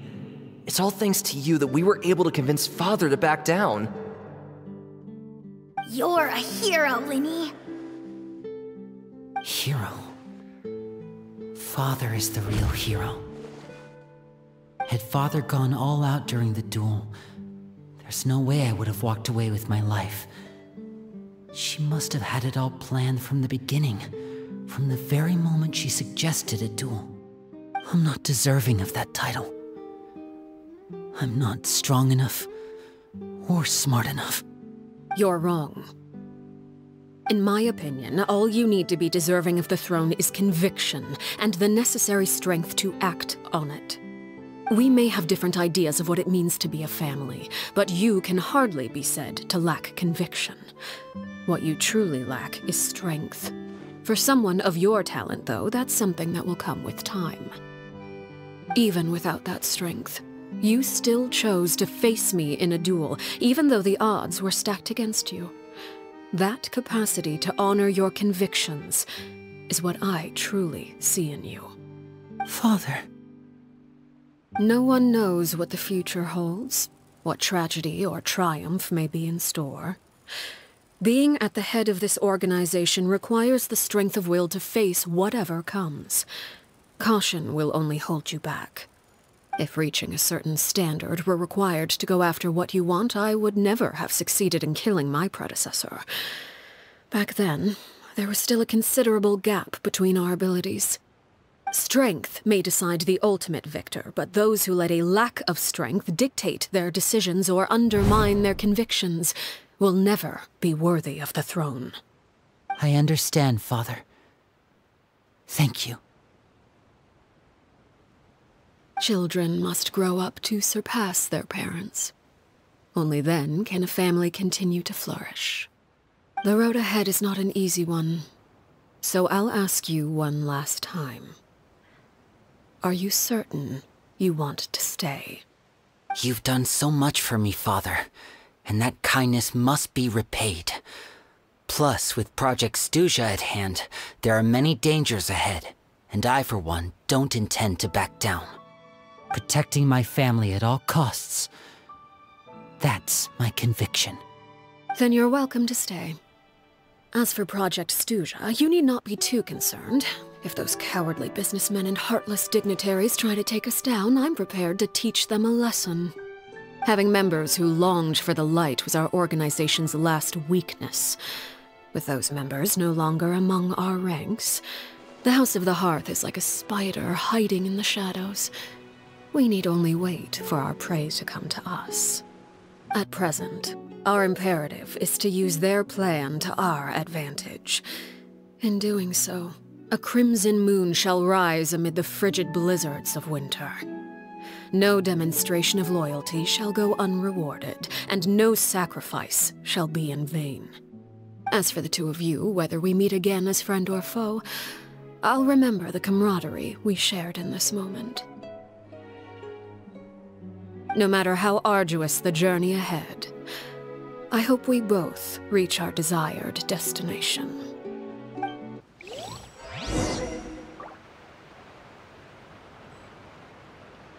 Didn't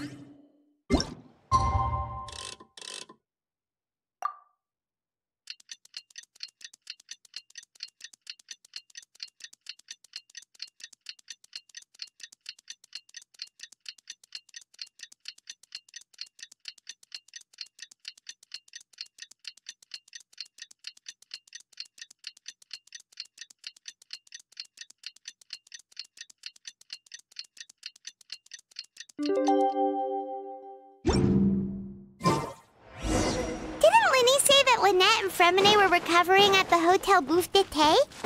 Oh, Paimon wonders how they're doing. Maybe we should go check on them.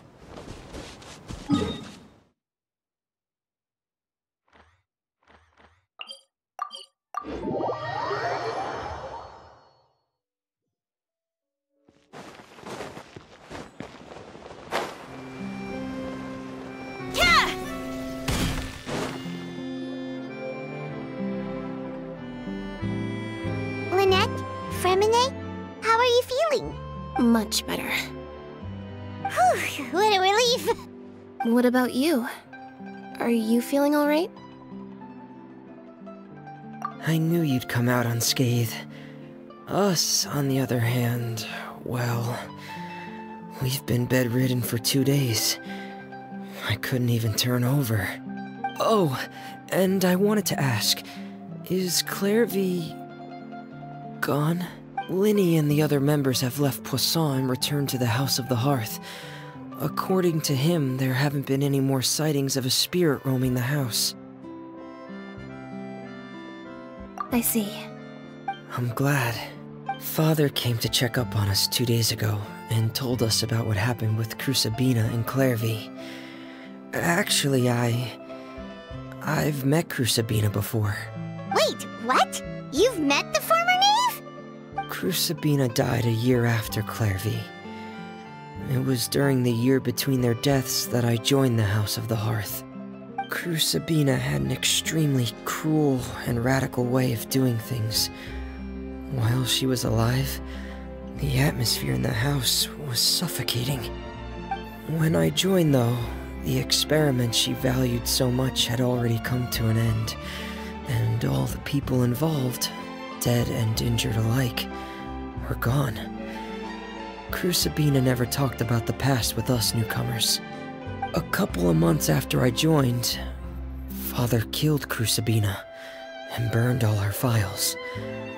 With that, the names of all the people subjected to her experiments, Clervie included, were lost to the flames, along with the painful memories they represented. Father took in Lyney and me a couple months after that, but she never mentioned anything about Crucabena or Clervie. Hmm. It really seems like something she was planning to keep to herself. The last time you talked to her, did she mention why she kept it a secret for so long? She said she didn't want us to be affected by the darkness of the past. She was worried we'd develop a false sense of gratitude towards her if we knew about it. The foundation of a family should be free of any corrupting influence. Whatever happened in the past, it has nothing to do with who we are now. And that's what Father told us in the end. But I still thanked her for everything. It was only after hearing about what Crucabena did that I finally realized how insignificant our lives could have been.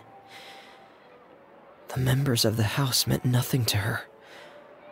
To say that she valued them in any way, even just as a tool, would probably be giving her too much credit. If Father hadn't taken over the House of the Hearth, I probably would have already.